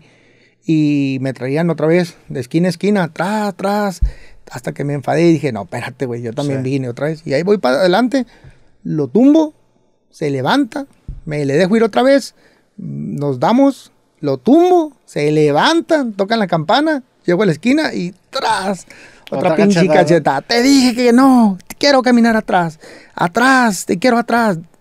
Yo te voy a decir cuándo. Bueno, tercer round, cuarto round, quinto round, sexto. Y para el quinto, para salir el sexto me dijeron, ahora sí, déjate ir con todo. Ya ese cabrón no, no trae mucho, déjale ir con, déjate ir con todo, ahora sí. Y salgo porque yo alucinaba, yo ya lo había visto pelear durante el resumen del año y lo había visto unas cuatro o cinco veces y él tenía un, un error muy grande. Tiraba el jab y esta mano derecha este, la adelantaba. Ok. Entonces yo alucinaba que si le tiraba el jab y se lo cambiaba en gancho, Leas. él se iba a hacer para atrás con la mano adelantada porque no, no se iba a recoger, sino se iba a hacer así como, Sí. como de miedo, como que este cabrón ahí viene, ¿no? Yo dije, va, a- va a sacar las manos más y me va a dejar el espacio para la derecha. Y dicho y Ya, hecho, sí. así fue, my ¿Qué, qué- qué se siente cuando, cuando ves, no notas estas tendencias en estos peleadores y en la hora del ring las siguen haciendo? Porque también me imagino que de repente ves ciertos huequitos y ya para cuando peleas con él te lo corrigen, ¿no? O sea, o ya no lo tienen.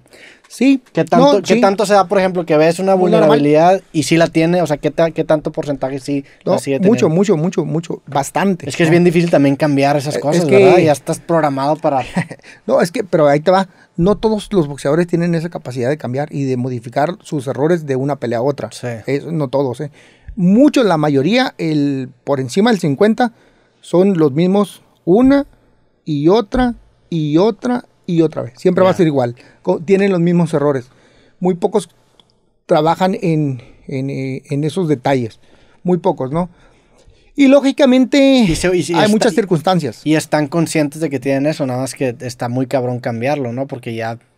Porque es mecánico. Sí, porque es mecánico. Lo Lo, han hecho lo tantas entren- lo veces. han hecho tantas veces, lo entrena el mismo güey. Lo, lo- ¿Sí me explico? Sí. Eh, va a ser el mismo error. Cuando hay la capacidad del entrenador para modificar, ahí sí, Sí. agárrate, María, porque pues tienes que también todo hacer ajustes. Y tú lo ves, eh, lo ves en el pasado, lo ves en, en- en el presente más o menos, y lo ves en el presente presente, ¿no? En su última pelea. Sí. Y tú ves y dices, no, pues sí cambió, Sí poquito. ajustó, sí hizo esto, sí tiene la habilidad, sí tiene... Entonces tú, tú vas, tú vas... Y, y mucha gente me va a preguntar, porque, por lo que... Y Barrera u otros, lo que pasa que ya en las peleas grandes, a veces, muy en especial en esa, ya vas al corazón, no tanto a, a la estrategia, sino ya es un, un viva Villas y un viva México, ¿sí me explico? Ya es- son otros conceptos de tú a tú. En las trilogías que, que te Pues con la, con la, por lo menos con la de, en- con la de Barrera, sí fue. O sea, ya olvídate el pinche, la patita y el movimiento, Eh, esa- Era, arráncale la cabeza y arranca, sí, sí, sí. O sea, sí era, sí era un Era- acercamiento súper diferente. Sí, claro. Y tu esquina te decía, no, enfócate en esto y tú te ibas. O sea, sí. Sí. ¿Sí? No, pues sí, sí ajustábamos de repente, porque me decían, eh, tú te sientas, no hablas, generalmente no hablas tanto, ¿no? Te sientan y, y tú estás pensando y te dicen, Eric, estás haciendo esto, te está llegando con tal golpe y te está llegando por esta causa, estás cometiendo este error por esto, tras, tras, dos, tres, dos, tres rápidas y luego te dicen, concéntrate en esto, ¿no? Entonces tú ya más o menos cuadras y sales. Sí. Entonces tú ya dices, ah, este hijo de la con razón. me está- sí, pues me está pendejando cuando a lo mejor regreso lento mi, mi, mi mano y pues me llega con la derecha por arriba. Detallitos así. Sí. ¿no? Entonces tú vas ajustando, este, vuelvo al tema, no todos tienen esa Esa- habilidad y no porque ya sea muy chingón, es simplemente porque hay, hay quienes sí podemos pensar arriba del ring y hay quienes no se les da. Es un tema, no sé. Pl- Platícame el primer campeonato que tienes, que es el, el de Daniel Zaragoza después de, de esta pelea que, que era contra el Júpiter, dijiste. Júpiter, Que te bueno, hice varias- algunas, algunas más y luego finalmente me dan la pelea. ¿Cómo te llega esa oportunidad? Pues mira, lo que pasa que a mí me ponen número uno del mundo en el 96, como principios del 96, mm, hago una eliminatoria con, con un ex campeón mundial número 2 del mundo para disputar quién era el mejor en la pelea de Chávez de la Hoya a la 1 en junio del 96 peleamos, le gano y entonces me reafirmo como número uno del mundo dispuesto a, para disputar el título mundial. En este caso Daniel Zaragoza, que ya había sido campeón mundial, que llevaba cuatro defensas, que yo era su quinta, y- pero él ya tenía 38 años. Entonces en esa edad, pues prácticamente lo que él hacía era eh, buscar los peleadores que le redituaran más dinero. En ese caso eran dos, Yoshiro, Sa- Yoshiro Tatsuyoshi, un japonesito, y Wayne McCallum, que a los dos ya les había ganado. Sí. Entonces quería la revancha, pues para llevarse una feria, que es algo normal, natural. Pero pues yo estaba morro y quería mi oportunidad de título mundial. Y entonces andamos jaloneándonos. Y finalmente. eh, ¿Pero que le estabas ahí diciendo que te la dé o, o no, cómo- no, no, no, no, no, no, no. Lo que pasa es que en las reglas del Consejo Mundial de Boxeo, el campeón está obligado a pelear una vez al año con el número uno. Ok. Cada año Si eres el uno ya estás ya, ya, está, ya está garantizado tu, tu oportunidad. Entonces, cada año eh, tienes que pelear con el número uno, el campeón con el número uno. Entonces, yo era el número uno, ya había hecho mil eliminatorias con el número dos, había reafirmado, me tocaba la oportunidad. Entonces, se dio el pinche año y nada. Entonces, ahí estaba esperando, haciendo fila, eh, presionando, presionando, presionando. ¿Y ese año tú peleaste? Con varios, sí. Sí. Hice algunas ¿Y peleitas. qué pasaba si perdías? perdías Ah, tú no, uno? pues pierdes todo. Sí, pues pierdes ahí. Te Eso vas. está bien, cabrón. Te Y- fuiste, María. Pero po- podrías, pudiste no haber peleado tú en ese Inter para quedarte con No, uno? no, tienes que pelear. Tienes que sí, pelear tienes también. que pelear. Sí, no, no, no, no. Pues ahí es, ahí es, ahí es, son muchos temas. Tienes que tener mucho cuidado. Pero si, si te hubieras perdido, pues te hubieran quitado tu, tu, tu pelea Tu, número ¿no? uno, sí, sí, sí, te pierdes y te vas. Bueno, en este caso, finalmente se dio después de año y medio la pelea. y se dio en septiembre en El Paso, Texas, el 6 de septiembre del 97. Y entonces, pues Daniel, eh, lógicamente yo no le redituaba lo que le iban a redituar los otros peleadores. eh, obligadamente hace la pelea porque pues soy el retador oficial. La hicimos y pues prácticamente me aproveché de, de él porque jugué con, con las probabilidades y, y como, como él peleaba, ¿no? Él peleaba del 1 al sexto por su edad Sí. arriba y luego de repente de forma natural pues ya eh, se cansaba y entonces venía menos. Entonces yo jugué con él, le di vueltita, lo caminé, lo moví en la estrategia y lo presionaba y lo le bajaba y lo subía y ahí lo llevaba y lo llevaba y, y después del 6 le empecé a apretar y no, pues ya, Ya no llegó un momento que no aguantó. ¿no?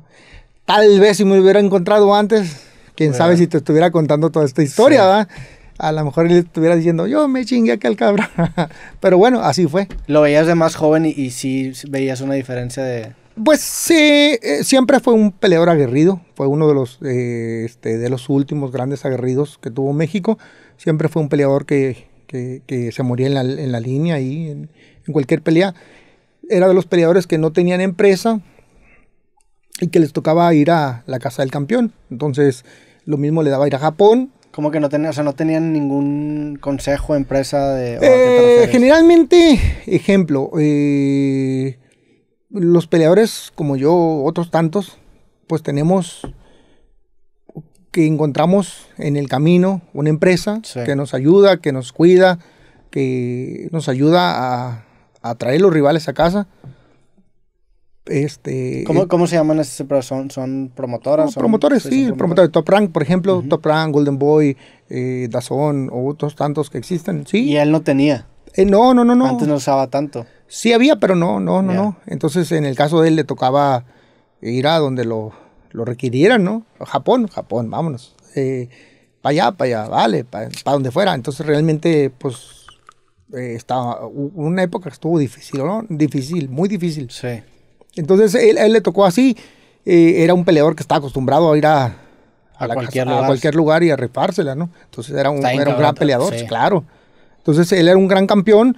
Este, y bueno, pues ya en la, en la pelea contra mí, pues ahí se venció.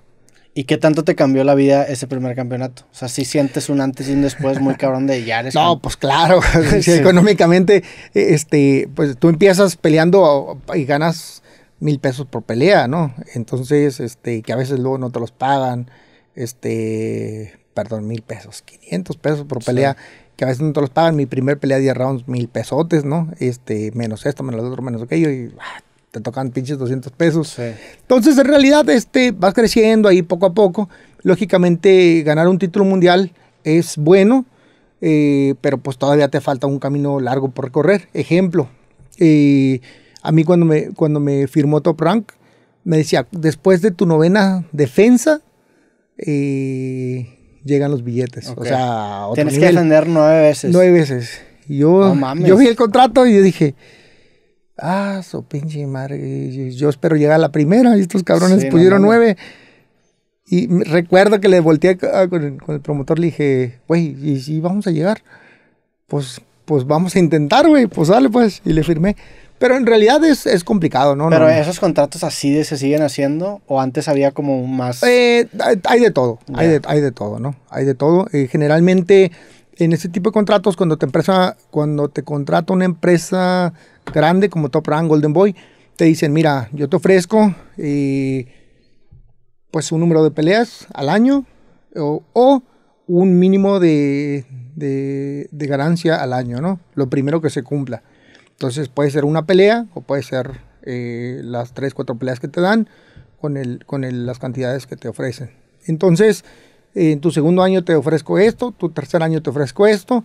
eh, si te logro clasificar o, o te logro colocar por la pelea del título, tal vez se, Sí. se, se- se autoriza un, un año más de forma natural y así un sinnúmero de cosas. Es toda la negociación como tú la puedas Claro. hacer, ¿no? Si- ¿Sientes que eso en ese sentido ya es un poco más justo? Porque también me- he, he visto que de repente no se acercan contigo también peleadores para, para pedirte consejos porque se hacen de repente dobles contratos, ¿no? O a lo mejor no sabes ni cuánto realmente está generando la pelea. ¿Te tocó, te pasó eso al más al principio?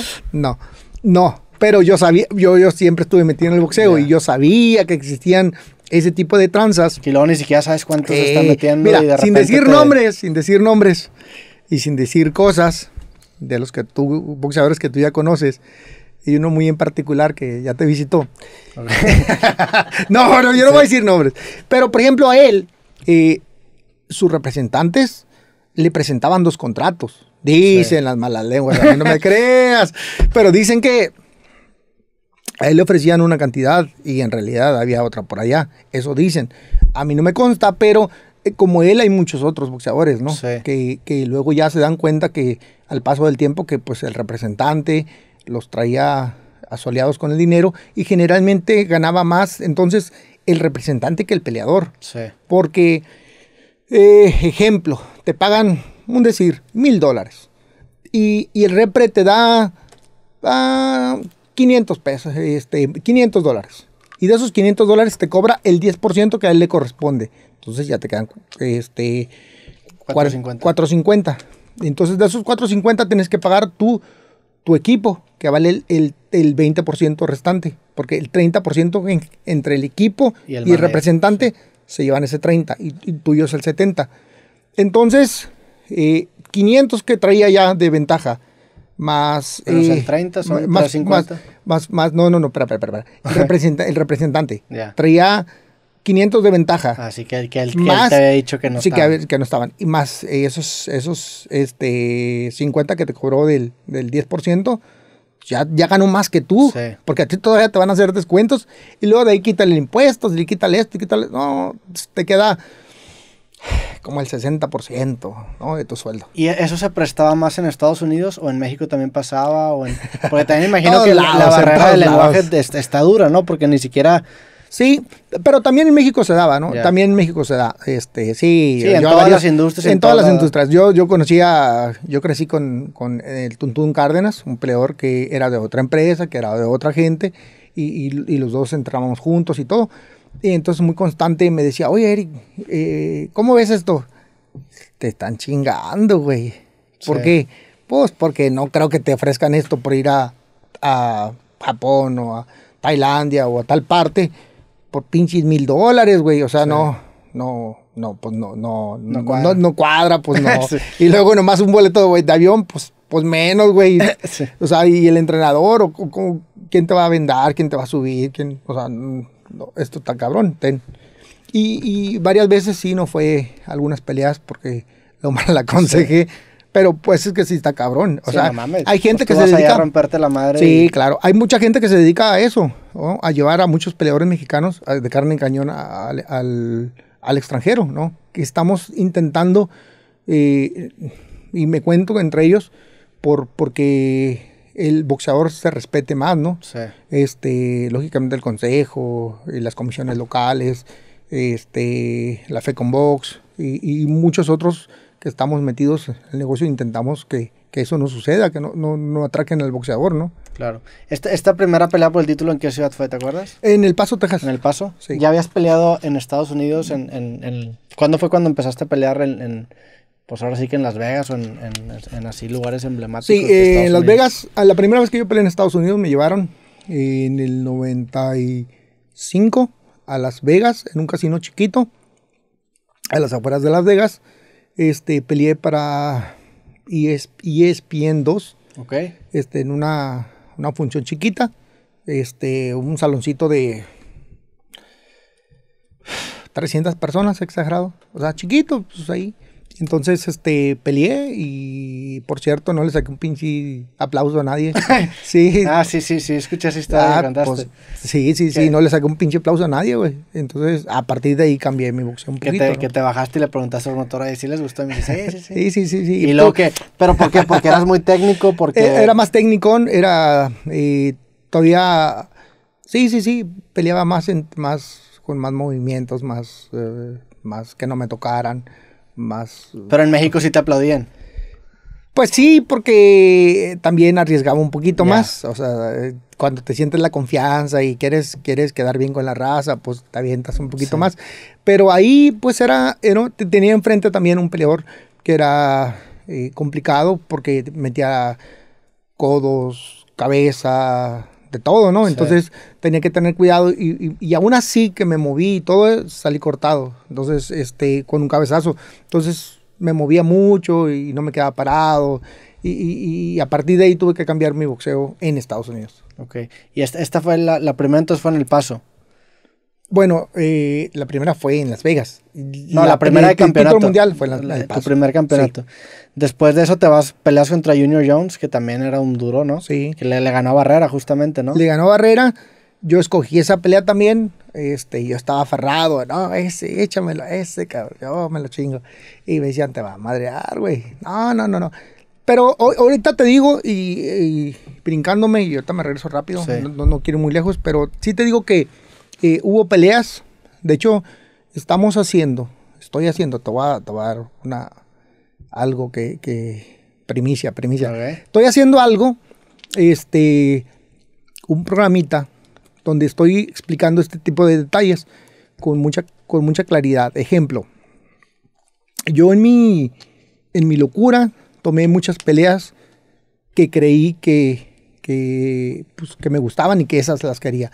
Y que la empresa me apoyó y me ayudó a conseguir esas peleas. Algunas las gané, a otras las perdí.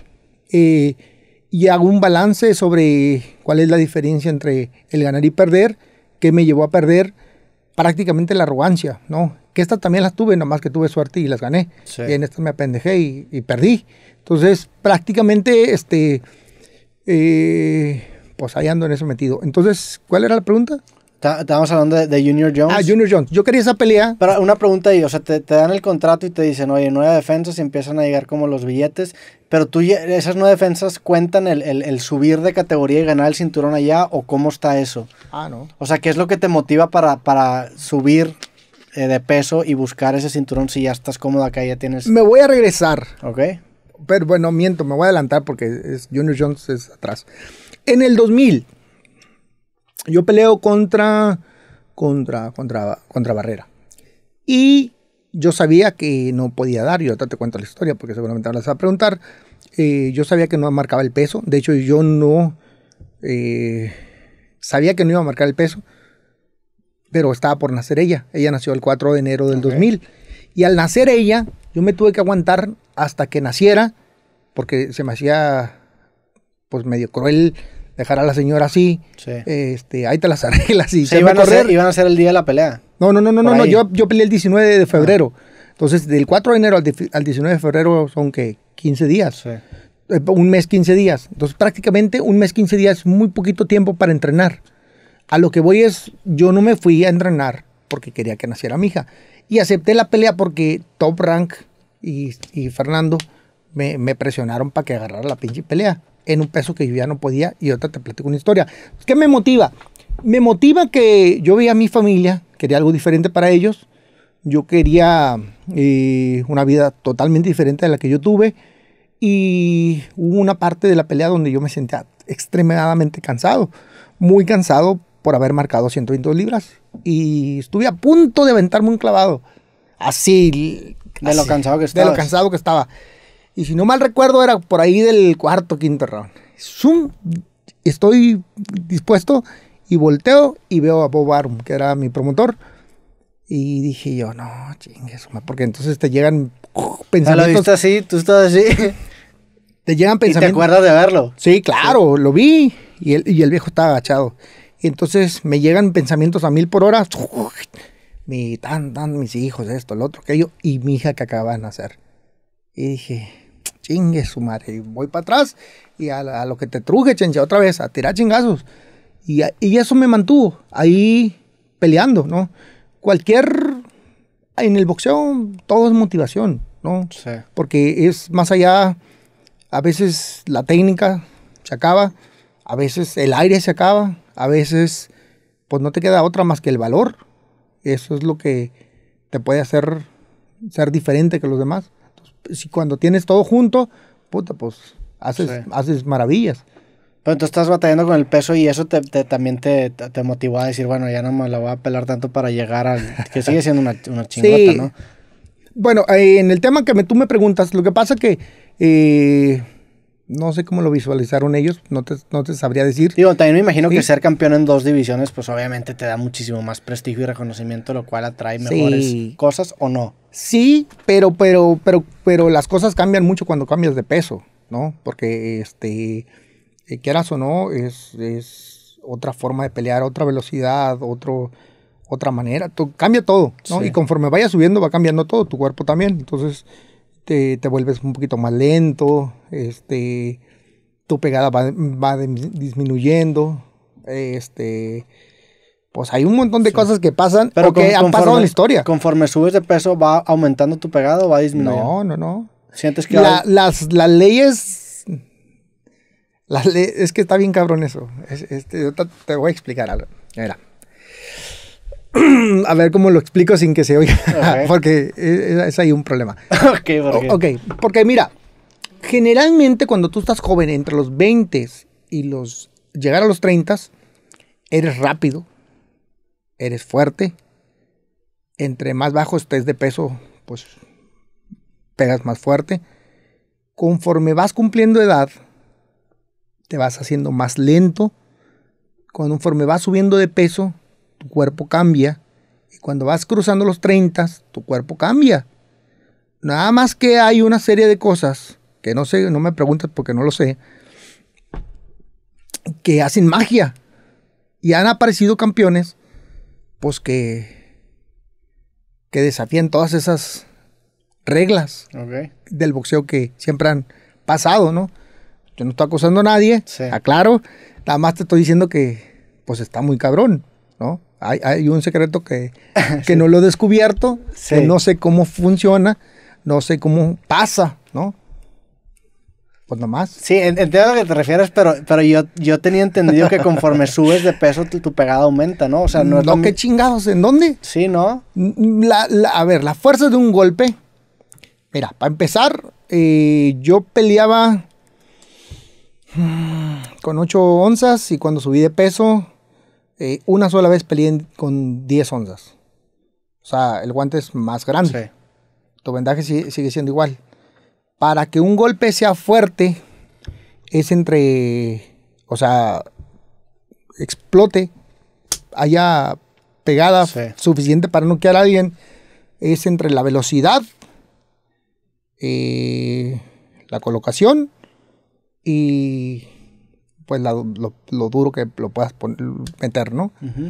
Entonces, pues mm, conforme vas subiendo de peso, tus movimientos son más lentos, no son más rápidos. Yo no, mm, pues no. ah, En el pasado, es más, Sí. mejor vete a la historia.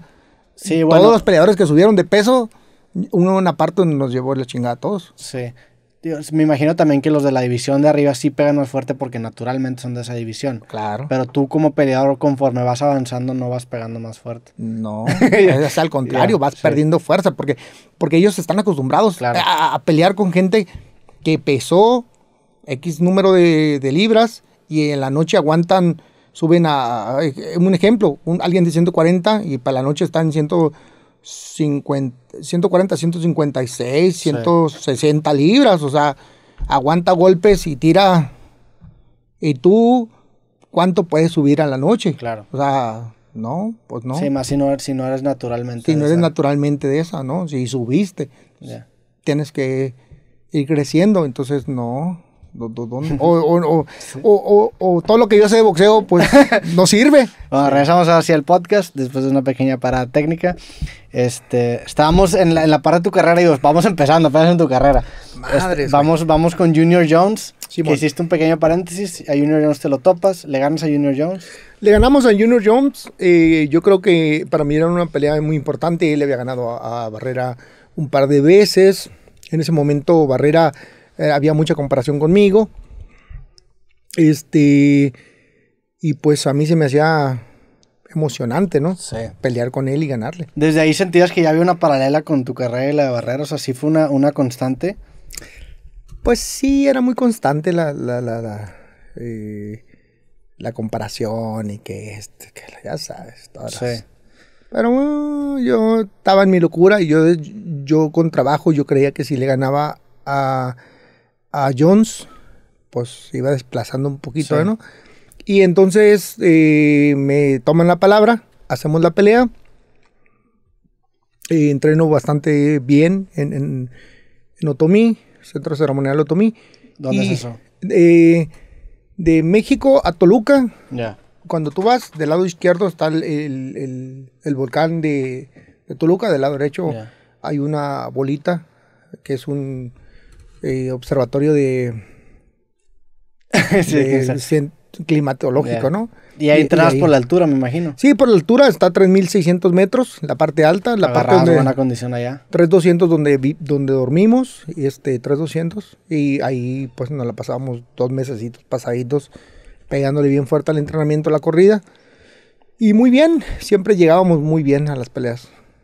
Le ganas a Jones. Eh, la, la, la pelea de Barrera ya eh, es uno o dos años Sí, después, ¿no? en, eh, esto fue en septiembre 10, no, 10 de septiembre del 98 y Barrera fue el 4 de enero del 2000. Ok.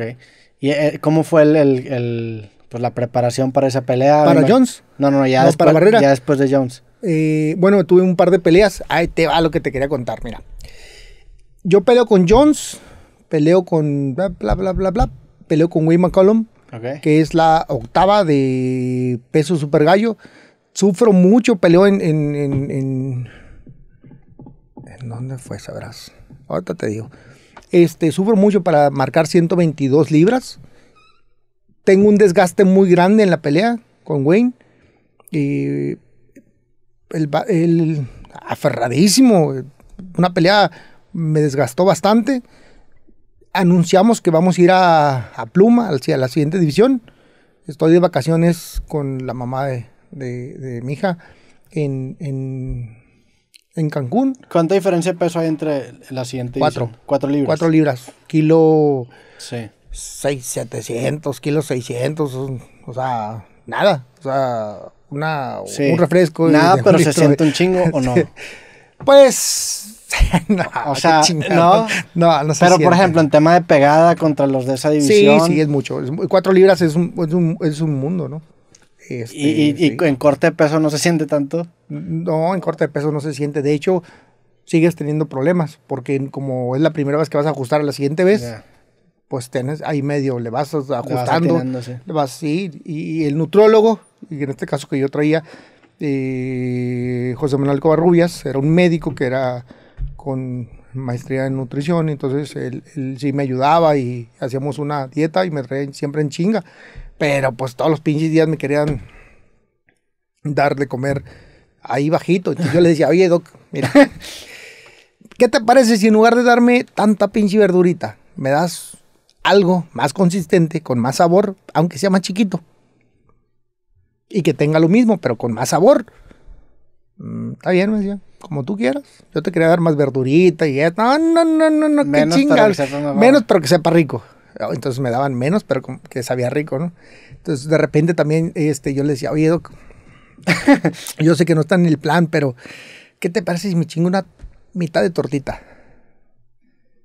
Pues te cuesta eh, media hora mañana corriendo después de lo que te toca correr, media hora más. Yo decía, ah, su madre. Bueno, va, juega, juega. Entonces agarra la pinche torta y me la saboreaba. Así. Mordía por mordía, le Despacito, disfrutando. le iba, uh, no, sí. Porque aparte es media hora corriendo ya, ten, o sea, ya, Ya estando en chinga. después de ajá, o sea, ya estando en chinga, no es media hora así que... No, no, no, no, es adicional, ¿no? Sí. Al- y, y como no le puedes hacer trampa, porque entonces le preguntan al, al preparador físico, le dice, ¿cuánto corre mañana? No, pues mañana le toca una hora veinte. Ah, entonces va a ser una, hora cincuenta. no mames. Entonces, chinguele, güey. Y tenía que pagar, porque si no, entonces la siguiente vez, pues ya no había torta, ¿verdad? Sí. Entonces tenías que chingarle. Y entonces, bueno, ya no podía marcar 122 libras. Y anuncio que termino la pelea, la gano. Anunciamos que vamos a ir a, a, a Peso Pluma. Me voy de vacaciones a Cancún. Estoy en Cancún y me hablan por teléfono. Me dicen, Eric, te tengo. ¿Dónde estás? En Cancún. Oye, eh, do- necesito dos favores de ti. Sí, dime. Primero que vayas al Teletón, a México, a donar algo. y- Aparecer ahí en la tele. Aparecer en tele. Ok. sí, ¿no? Y la segunda, este, que te sientes con don José Suleimán. Tema, dile que vas a hacer una pelea más en Super Gallo. Dije, güey, no, estás pendejo, yo no, yo no, no, no, ni madres, no, no, yo no puedo. Dile que vas a hacerla, güey. No, no, no. Dile y luego ya arreglamos lo demás. Y yo también, pues pendejo, pues me dejaba, ¿no? Me dejaba guiar. Ahí te va tu pendejo. Compré un pantalón, porque yo llevaba ropa, pues para la playa, ¿no? Compré un pantalón de vestir. Ah, compraste un pantalón para ir a la junta. Sí, para al Teletón y a la Junta. Ya. Entonces ahí, me tienes haciendo la pinche noche, güey, haciéndole bastilla. Y le, le hice valenciana, le planché y le hice con unos cuatro puntitos, uno en cada lado, ¿no? Cuatro Sí. puntitos. Ya andaba, revisaba cada ratito que no se, no se, no No se descosiera el chingado pantalón. Y este, y fui a, dicho y hecho, fui a Teletón, salí de ahí me fui. ¿Cómo, cómo- antes de que vayas a, a- a la junta, ¿cómo es ir a Teletón? O sea, te ponen, vas ahí, dices algo, Yo no, yo no, o nada más apareces, yo no, que mira, yo no, él también... yo no lo arreglé. Yo, o sea, a mí me, me dijeron de tal puerta entras, ni siquiera me acuerdo que, a qué parte fuimos. Este era un foro. eh, habíamos otros boxeadores, hab- habíamos varios. Unos te regalaron guantecitos, ¿Te otros acuerdas regalamos. quiénes, estaban ahí? Eh, no quisiera ofenderlos. este, quisi- unos regalaron guantecitos, otros regalamos, eh, donamos en un chequecito. Y entonces, este, pasé, nos presentaron a todos juntos y, y pasamos, donamos Y ya, y ya, chingada, vámonos. aparecieron y ya. Aparecieron, sí. Que en esa época aparecer ahí era wow, Sí. era porque pues un pinche boxeo estaba muerto, no, no aparecía nada. es un evento, era un evento gigante. Era ¿no? un evento gigante, pues sí, entonces mal que bien decían, ¿no? ¿Quién serán esos güeyes? Pero bueno, buen boxeadores, ¿no? Y ya, pues era una ventana de, de, de, de mercadeo. Entonces, eh, voy a la junta, hablo con don José Suleimán y le digo, mira, lo que, ahí te va, te, te explico un poquito de regla. Eh, cuando eres campeón del mundo y te cambias de peso, pasas como número uno del mundo Sí. a la siguiente división. Entonces, Y si había un uno ahí, lo quitas. lo quitas, sí. Aunque Te- no, aquí yo, yo peleé Sí, por yo, uno, yo ¿no? entro. Entras ahí, ¿no? Entonces, eh, yo ya había anunciado, lógicamente, el organismo, al, al- al- al- anunciar tú eso, pues prácticamente eh, colocan el título, en- eh, hacen una, este, una eliminatoria o ponen al uno contra el dos, o hacen, ¿no? O si el dos no está disponible, el uno con el tres y así. Ah, para el título que dejaste Para el vacante. título que dejé vacante. Entonces, llego yo con don José y, ¿qué tal, Eri? ¿Cómo está? Dígame, ¿en qué le puedo servir? Y la chingada, no, pues mire, don José, con la pena, pero vengo a explicarle y a pedirle el favor que me haga hacer, que me deje hacer una pelea más de título Super Gallo. Dice, no. Ya lo habías dejado vacante. Y O sea, sí. ya, ya- ya ya habías lo había comprometido. Ya. Ya el título estaba comprometido de, de- de peso Super Gallo. Ya estaba comprometido cuando yo dije que lo iba a dejar vacante. Entonces Ya había contrato firmado con pelea y todo. no sé si, Ya, pero no ya, sé si ya todo, estaba pero ya está comprometido. comprometido. Ya habían llegado a un acuerdo con los alt- más altos. Entonces me dice, usted no me puede hacer esto. Le dije, por favor. No, y ahí, bueno, ahí estuvimos platicando como pues, tres horas, güey. Ok. Y para convencerlo. Y me dijo, mire, pero es que yo nomás voy a hacer una y, y dejo el título. Tú no sabes ni con quién, nada más estabas Sí, siguiendo lo sí, que te siguiendo dijeron lo que me dijeron. Y, Y no, una- y no se te ocurrió preguntar que, oye, ¿por qué? ¿O por qué tanta la insistencia? No, no, no, no, no. Ah, me aventé un tiro y no, no. Entonces le dije, una y me voy. Dijo, bueno, pues. Pero una y se va. Sí, órale. ¿Y sabe con quién va a pelear? No. Bueno, así quedó. Me regresé, fui a Cancún. Para la noche ya estaba allá en Cancún, seguí mis vacaciones, me regresé. Pero ahí no te dio ni siquiera curiosidad de que, oye, pues, ¿contra quién? O... No, no, no. No, pa- más no, nomás, nomás me dijeron eso y fui a Ya. hacer eso. No, no pregunté tanto también. Este, bueno. Regresando a, a Tijuana, a los días me dicen, me dice Fernando, oye, ¿sabes qué? Vamos a ir a Las Vegas con, a- con Top Rank a platicar de tu siguiente pelea. ¿Con quién? Barrera. ¿En 122? Sí. No, güey. Le dije, no seas cabrón, güey. Yo, no- yo no voy a marcar 122. Y contra ese cabrón darle ventaja. No, no, no, 122. Chingado. ¿Barrera peleó, había peleado en menos de 122 antes? O, o- No, no, no, sí, no, era su peso original. Ya, era era su peso original. Entonces yo le dije, no, güey, está muy difícil porque no, no voy a marcar el peso. Y esa pelea está dura, pues eh, mal que viene el, este, es una pelea de tú a tú, güey. No, no, pues tienes que ir. Pues ahí vamos. Nos aventamos una juntita larga, ellos convenciéndome por que se hiciera la pelea. Ellos me decían, tu mundo, tu mundo, este, eh, tu mundo perfecto es que se haga esa pelea. Yo le decía, no, güey, es que no sé, no voy a dar el peso. No, sí, sí, ay, sí, pues, vueltas y vueltas y vueltas y llegamos a lo mismo, ¿no? Entonces me decían, tienes que agarrarla. Yo le dije, no, no la voy a agarrar. Me dijeron, Eric, es que eso es lo, lo que más te conviene por la televisión, bla, bla, bla. Está bien, le dije. Después de tanto tiempo eh, estarme chingando con eso, le dije, está bien, sí, sí lo voy a aceptar con una condición. ¿Cuál? Que me den la mano. Y me dijeron, no, no, no, no, no, tienes que estar convencido. No, le dije, ni madres. Yo no estoy convencido, la voy a hacer por ustedes. Si me dan la mano, yo la hago. Me dijeron, no, tienes que estar convencido. No, ni madre, le dije. Y le di la mano y me dijo, no, no te la voy a dar. Entonces no me la quiso dar el promotor y volteé con el otro joto y le dije, vas tú. Con una de las dos Pero manos para, me ¿para doy. qué querías la mano? Nada más Nada para más para chingarlos, diga, para sabes que yo no estoy de pedo". acuerdo, pero lo quiero hacer. Sí. Ok. Entonces les y dije. si algo pasa, y, mira, tú me diste la mano, cabrón. Entonces no me la quiso dar. No No, la todo. Nadie quiso aventarse el tiro. Y les dije, bueno, está bien, pinche par de jotos. Porque era, no era Bobarum, era Tato Buff, que eh, hoy es el actual presidente. En esa época, no sé qué era. Este, Tato Buff, eh, eh, el que con él arreglábamos todo para mis peleas en Top Allá Barrera ya lo tenías bien ubicado, ya habías sido del partido de fútbol, ya, ves- Sí, ya ya habían todo eso, ya, espareado, todo todo, eso. ya. Sí, ya, ya había pasado O sea, todo. ya, ya, había historia y Ya había historia, ya había historia. Entonces prácticamente este, se dio la pelea.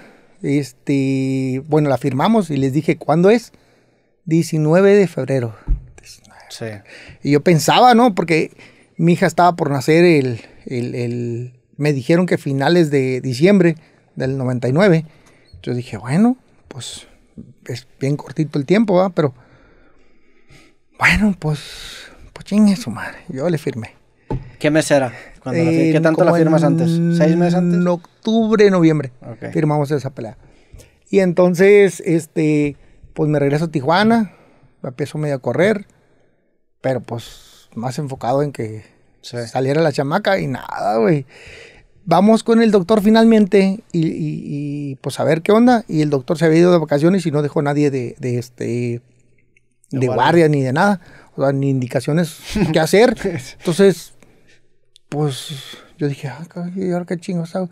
Entonces dije, bueno, pues fui con otro médico, la revisó, vio los papeles, vio todo y me dijo, mira, pueden hacer hoy. Pero era el día 3 de, 3 de enero, me dice, pueden hacer hoy. De hecho, ya se le está pasando, pero está muy fría la noche. ¿Te parece si me la traes a las 6 de la mañana? Y, y- y hacemos todo, le hacemos una inducción y vemos ahí si, si por inducción no sale, pues este, le hacemos una cesárea. Ah, bueno, pues órale, a la mañana, a las 6 de la mañana. Entonces, este, ya más o menos viendo eso, yo les dije, mañana sale porque sale, ¿no? Cesárea o, Sí. o- o- o natural, pero sale. Entonces pónganme el vuelo en la tarde-noche. Yo me voy a subir en la tarde-noche.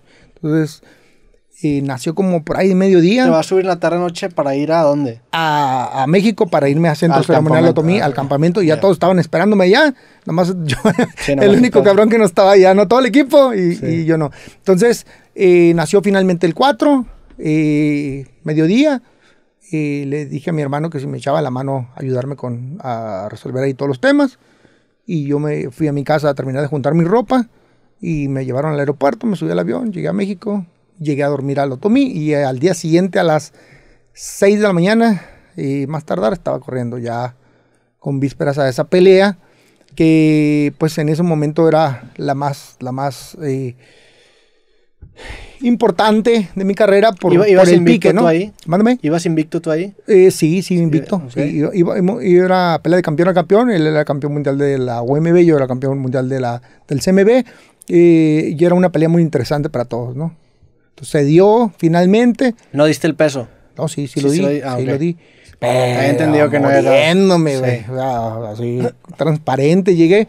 Lo dimos.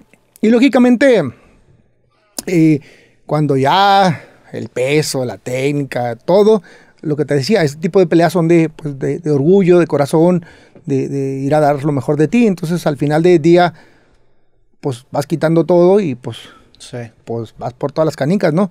Fue una pelea muy difícil para los dos, fue una pelea que, que nos llevó el, el- el reconocimiento de la pelea del año, la- el quinto round más este El round más del año, importante del año.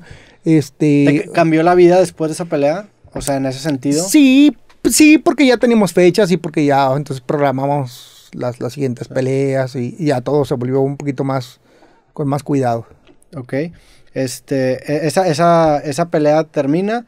Este, pierdes esa pelea. ¿Tú, en en la primera la pierdes, la pierdes o la ganas la primera? La primera la ganó. ¿La ganas tú? Sí. Este, Los jueces me la dan. Unificas, unificas los, los títulos. los títulos, Ok. pero en la misma noche yo regreso el, el- el de la OMB. Ok. Porque por la fidelidad. Que le habías dicho que nada consejo. más era. Sí, y regresé el título de la OMB. Y de ahí ya tenías los planes de pasarte al, al- al- próximo peso pluma. A peso pluma, ¿no? Sí. Entonces te vas a peso pluma y, y entras como uno directo. Como uno directo a una pelea tranquila con, con, con, un- con una pelea suave. Una Sí. pelea suave y porque pues había sido mucho desgaste la pelea con Barrera. Una pelea que estuvo muy intensa los 12 rounds. Este, el desgaste de los, de los dos fue in- Sí. este, grandísimo, ¿no? Él dice que. Él dice que. Que comió unos, unos dulces y, y por eso vomitó. La verdad es que eh, cuando tú vomitas es por, por el, el exceso de esfuerzo que haces sobre, sobre, pues sobrehumano, ¿no? Sí. que, que el cuerpo se desgasta. Y, y al margen yo, aunque no, debu- no vomité, pero pues estaba desgastadísimo, ¿no? Por haber marcado el peso y porque la pelea fue muy, muy, muy difícil para los dos. Fue una pelea muy intensa, de, mucho, de muchos golpes, de mucho desgaste. Y aparte, pues el odio y Sí. el coraje y todo, pues, pues te hace Sí. ponerle todo, ¿no? Si, si tuvieras que escoger una pelea en tu carrera que enseñarle a una persona, ¿cuál, cuál sería? ¿Sería esa? ¿Sería la de Pacquiao? ¿Sería cuál? cuál pues, pues depende a quién, ¿no? Ok. De- depende- depe- imagínate que es una persona que, que nada más va a ver una pelea tuya. Eh, no, ¿Cuál- yo creo que sí hay, yo creo que sí hay muchas peleas este, muy buenas, eh, pero tal vez puede ser esa, puede ser la, pues esa porque estuvo muy pareja, ¿no? Muy Sí. pareja a- de inicio a fin. La de Pacquiao también estuvo buena de, de inicio a fin.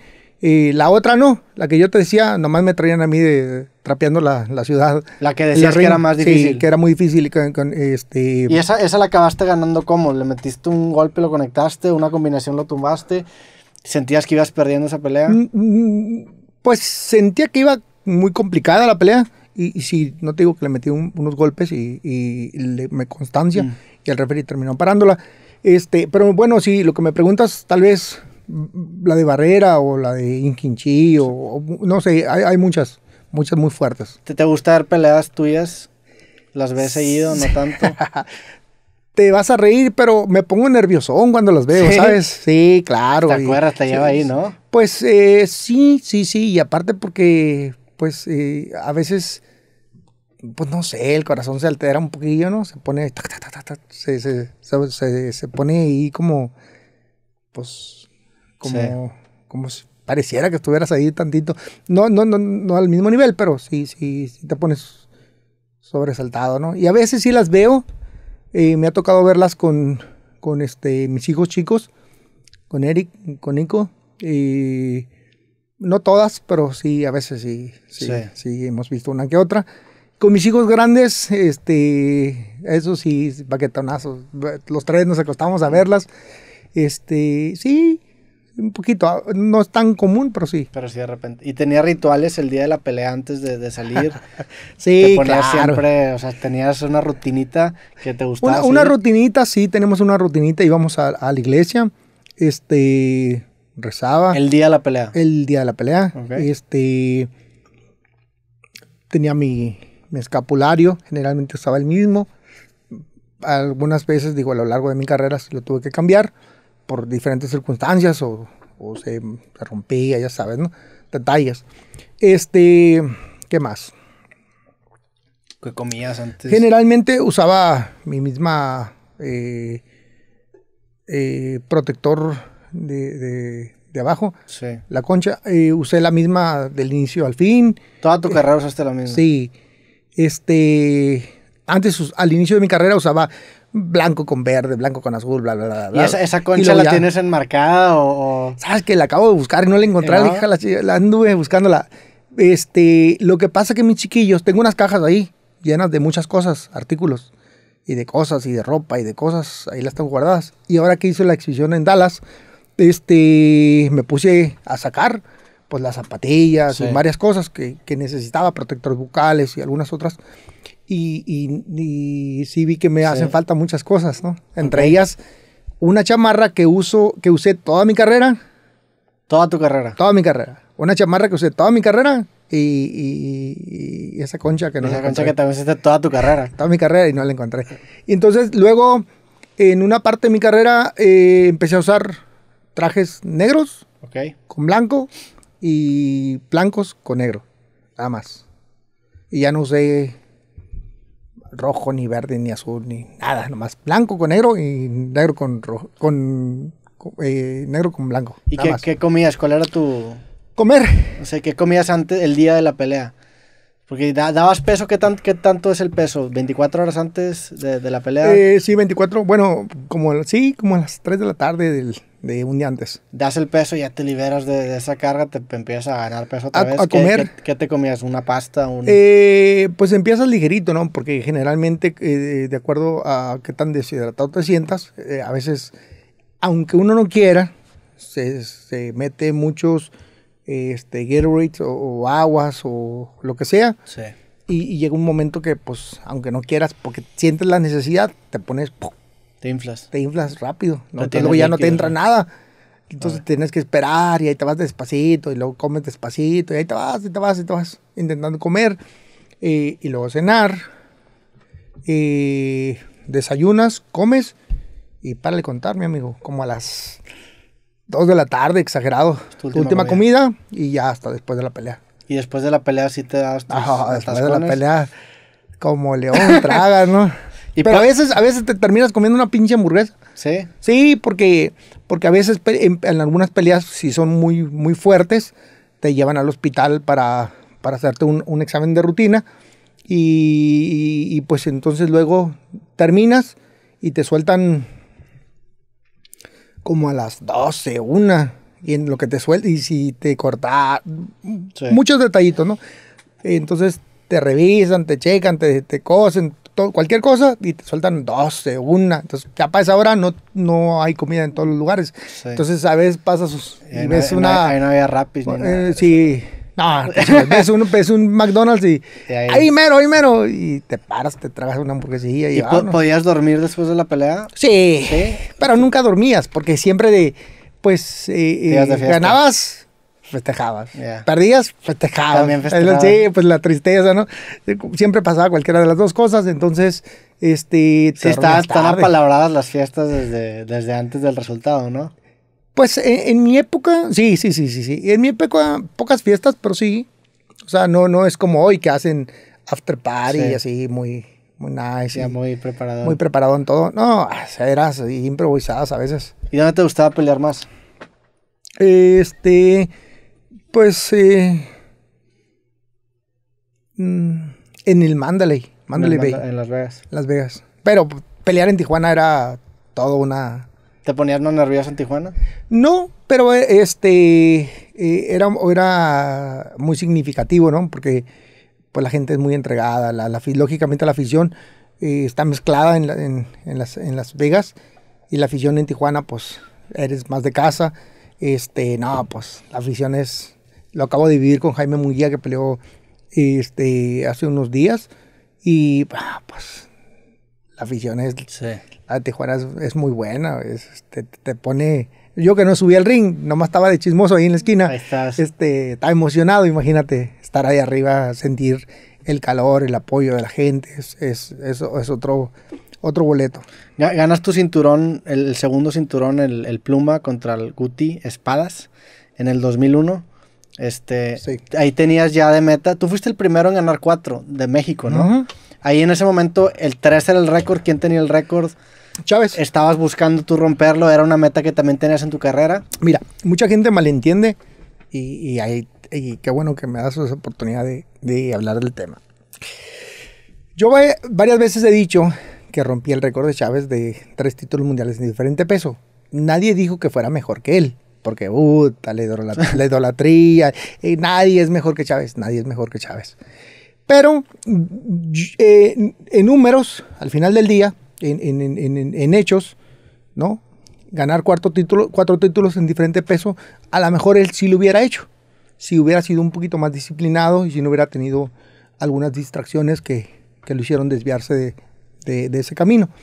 En mi caso, pues yo sí quería ser el primer mexicano en ganar cuarto, cuatro títulos en diferente división.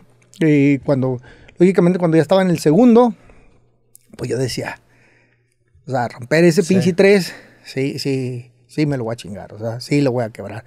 Y, y, y si tenía la meta, ¿no? Ya estando ahí, pues ya te enfilas. Pero lógicamente cuando inicias, pues no, lo ves. Sí. Sí, nomás para llegar el primero lo ves lejísimos.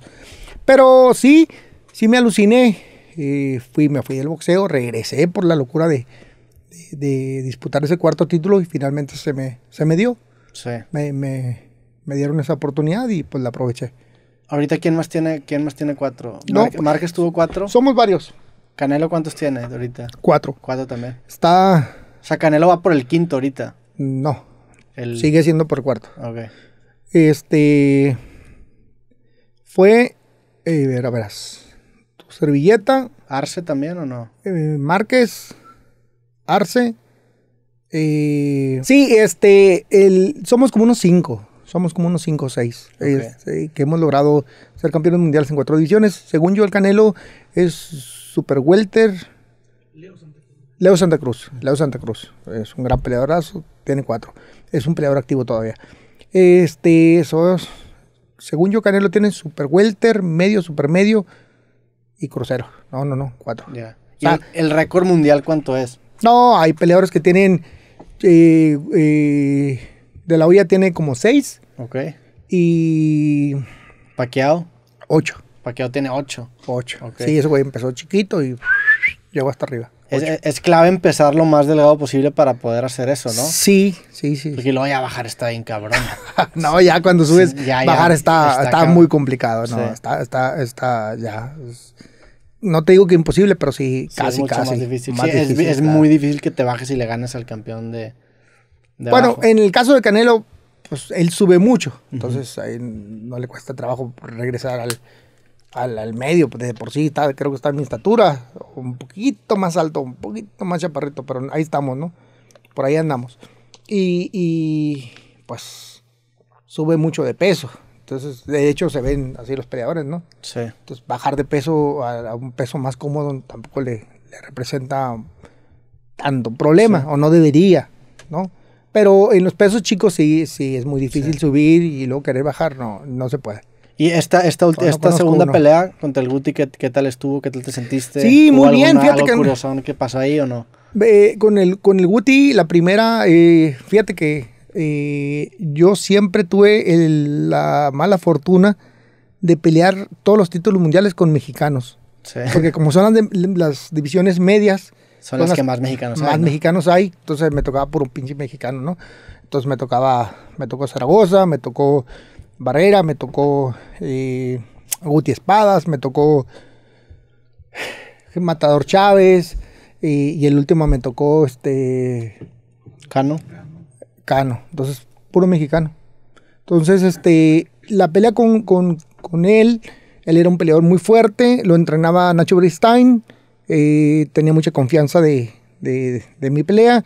Yo pues, estaba listo, eh, había ganado una- un título interino porque eh, algo sucedió y no se pudo dar la pelea la primera vez, entonces me tuve que esperar, hice interinato y luego ya Y peleé contra el ganaste el campeón. título interino. Sí, sí, sí, claro. O y sea, ese título como eliminatoria, pues, ese- prácticamente. Ese, título interino, ¿qué, ¿qué tan relevante es? O sea, No, nada, en realidad no, no, no tiene ningún valor tan significativo como pelear con el campeón, ¿no? sí. Entonces era prácticamente un mientras el Es que- es campeón que tiene un hay- problema, también ¿no? hay demasiados cinturones en el, en el boxeo. O sea, está el interino, el, el campeón. Bueno, el- sí, sí, sí. ¿Cuántos hay? ¿Qué, ¿Cuántos hay? Lo que pasa que hay organismos, imagina tú, cada organismo, cada peleador te paga el 3% de su sueldo. Ok. Entonces, si ¿A un- quién? Al, al organismo. al organismo. si hubiera eh, nada más el campeón que puede pelear o que pelea tres veces al año por división, más o menos hay 17 categorías por 3, 21, y dos, como 51 peleas de título mundial al año. Sí. Es lo que hubiera como máximo. Pero, pues tenemos interinatos, supercampeones, y entonces pues ya no hay 51. Y también ya fran- hay- campeón franquicia, ¿no? bueno, hay un sinnúmero de campeones, todos tienen un significado diferente. La mayoría de los organismos, eh, no la mayoría, AMB y, y- y AMB y OMB tienen campeón, supercampeón e interinato a la misma vez. El consejo tiene nada más campeón y, y, y este campeón plata, pero el campeón plata es un reconocimiento como reafirmarte como número uno del mundo. Es nada más campeón plata, así como Que tú ya eres el uno. ya eres el uno, ¿no?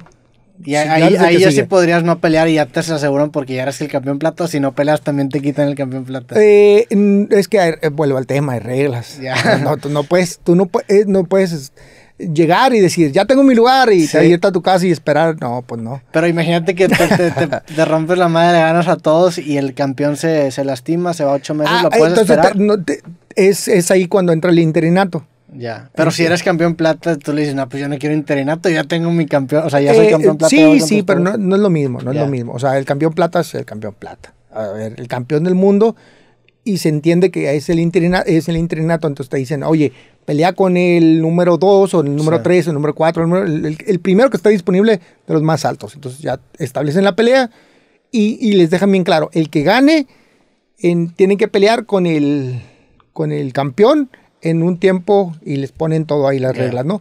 Entonces, cuando el campeón, cuando el entrenato se gana eh, y de repente se- el, el- el- el campeón interino puede preguntar, oye, el campeón se va a retrasar un poquito más, ¿me das permiso de hacer una pelea más? Y te dicen, pues sí, porque está, sigue estando fuera de combate. Ah, te la dan. O hay veces que te dicen, no, tienes que pelear ya con el campeón. Y ya, no te queda Sí. otra más que...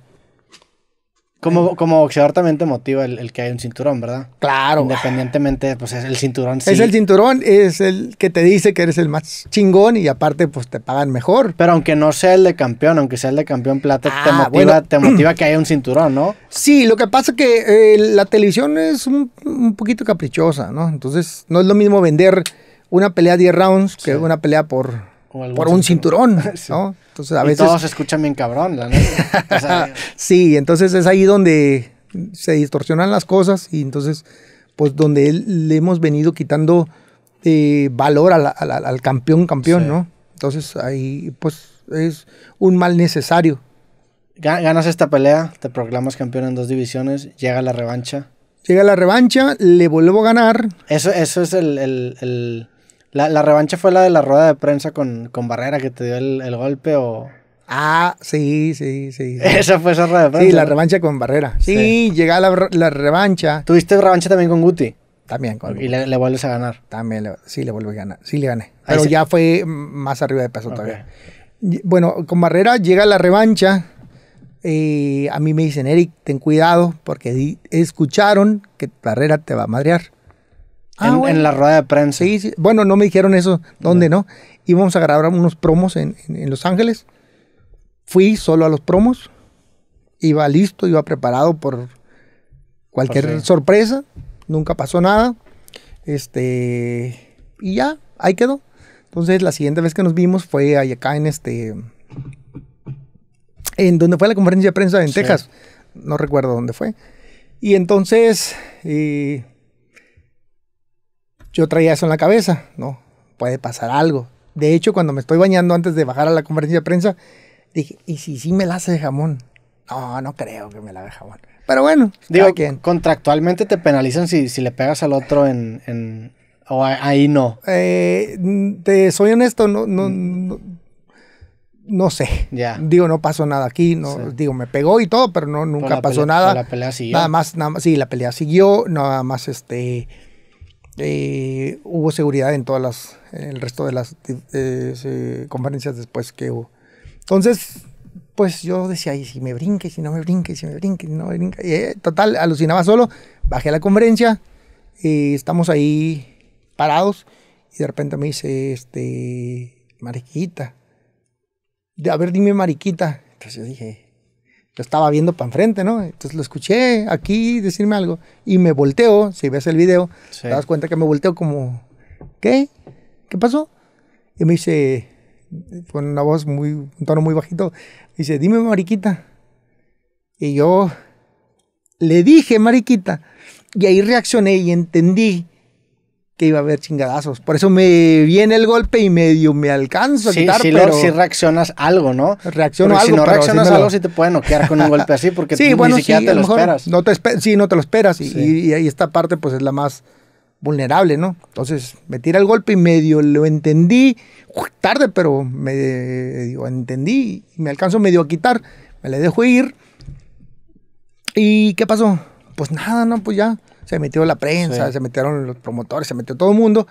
Y, y yo, agarrado de, de quien entró, alcanzo a tirar un, un patín Un patín. un patín y se lo pego a alguien de su gente que cayó. Se cayó Ah, lo con el, tumbaste con Sí, lo tumbé patada. con el patín.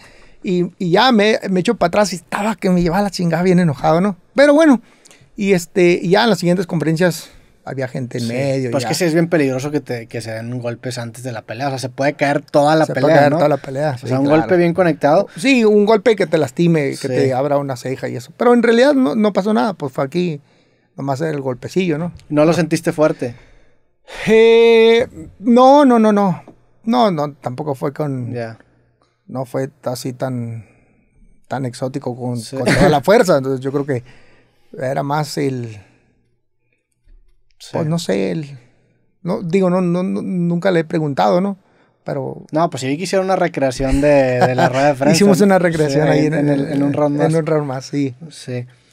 Entonces llegan a, a- a la pelea. ¿Esa pelea pierdes el invicto? O sea, ¿es- ¿esa es la, la primera pelea que pierdes en tu carrera profesional? Pierdo el invicto, pierdo el eh, la- primera pelea profesional. Eh, siendo honesto, yo creí que había ganado. Eh, en el X número de round, no recuerdo. eh, lo tumbo, le pego un, un golpe en el estómago, se cae, no le cuentan. Este, y bueno, sigue la pelea. Yo creí, yo creí, creí que la había ganado. Le dan la pelea a él, lógicamente, pues no dijimos nada. No, nunca éramos de echar pleito ni nada. Nos bajamos todos agüitados, todos tristes. Nos fuimos al vestidor. Este, lógicamente, pues duele, ¿verdad? Sí, y más, o sea, ¿qué tan cabrón es perder el invicto en el boxeo? Porque sí, o sea, y pues ma- más antes, ¿no? Que, que cuidan, o sea, uno- se dice que cuidan mucho los récords para, para que crecer Pues ese invicto. Ajá. y eso, ¿no? Me imagino que perder el invicto sí es un golpe muy fuerte. Pues es un golpe más, un, un golpecillo durillo y perderlo contra un güey que le traes, le traes coraje en ese momento, pues, eh, este, pues duele, ¿no? Digo, también Pero- me imagino que no es lo mismo perder el invicto siendo ya dos veces campeón. O sea, ya de cierta manera, pues ya tienes un nombre y que también te. O sea, Sí, no, no, no es tanto por, por, por qué va a pasar con tu carrera. ¿eh? No, no creo que sea ahí. Ni siquiera al principio. Eh, pues no pasó nada del otro lado. Ya. O sea, yo gané y él, él no. Tampoco le pasó como No, que- no, o sea, ni siquiera perder al principio te- es, es tan fulminante como un boxeador. Pues es. Si lo ves fríamente, es. Pues no, no, no es tan grave. ¿no? Al, al final del día es. Tú vas creando, re- vas armando, vas, vas construyendo tu carrera. Y a lo mejor una, una derrota no significaría tanto, ¿no? Claro. Es más, eh, acabo de estar con Siri, Siri Salido. Él tuvo como nueve derrotas antes de ser, ocho, siete derrotas antes de ser campeón del mundo y antes de ser considerado como uno de los mejores. Juan. Manuel Márquez creo que perdió su primera pelea como profesional también, ¿no? No te lo sé decir, la verdad, no, no sé. Pero también tuvo una pelea difícil. eh, Es más, de hecho, tuvo una carrera muy complicada. Al, al no pelear con Pacquiao, este, va a Indonesia, pierde una pelea por el título mundial con un sueldo cons- así diferente, muy diferente, lejos del, del que le daban con Pacquiao la revancha, al que tomó con, con Chris Jones en, en Indonesia. Y él se levanta también, ¿no? Se levanta y, y empieza a, a con- reconstruir su carrera. Entonces, pues es, es más bien la óptica Sí. que tú le pongas, ¿no? No es tanto el sentimiento que tú le des y eso, son otras cosas. De, de ahí te pasas, de ahí sigue la pelea de Pacquiao, la primera. No, de la... de, de ahí que sigue. No, sigue, y me aventé la 2 y luego me aventé la 3. Gano yo el título Ah, mundial. te, va- te vas a Superpluma, voy a peleas con el Superpluma. Matador Chávez. Matador Chávez. Sí. eh, Y en, en Superpluma es la, es la tercera, ¿no? La tercera, este, con pinche Matador, entramos en. Pues Matador era un peleador complicado, ¿no? Difícil, fuerte, chapito, pero bravo. Y este, entramos en el primer round.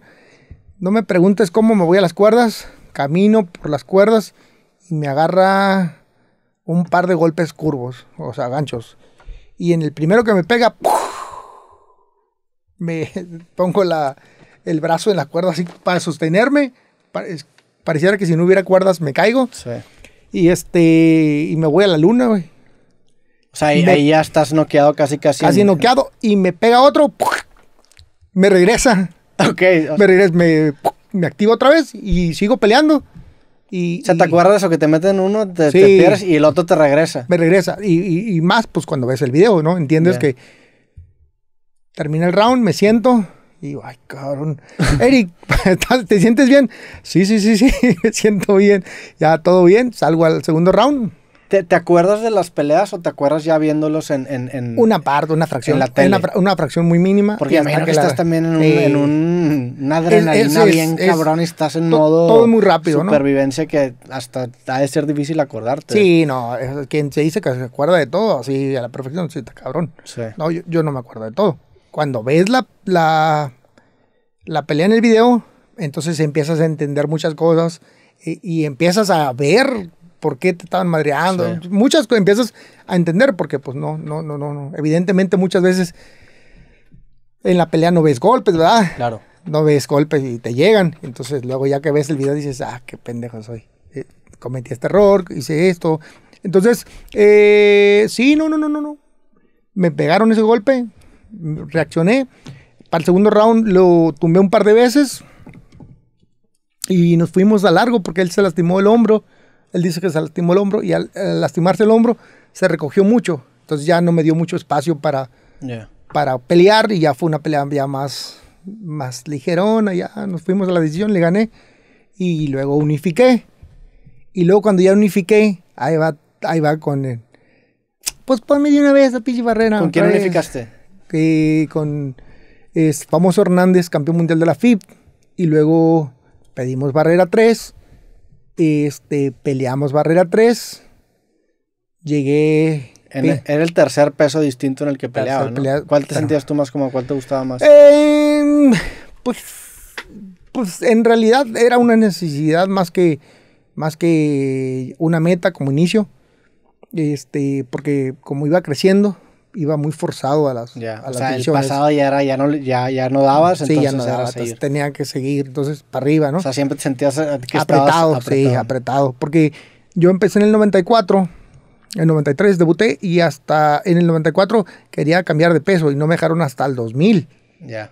Entonces llegué súper apretado al 126, duró menos de dos años, me cambio a 130 porque me siento, me cuesta mucho trabajo y en 130 duro igual menos de dos años también y me les quiero cambiar a, no, no, no, me les quiero, me les cambio a, a, ligero porque ya no, o sea, ya no podía. Está cabrón, o sea, estar 6, 7 años en el mismo peso es una locura. O sea, yo cuando me gradué de universidad ahorita soy como 12 kilos de diferencia.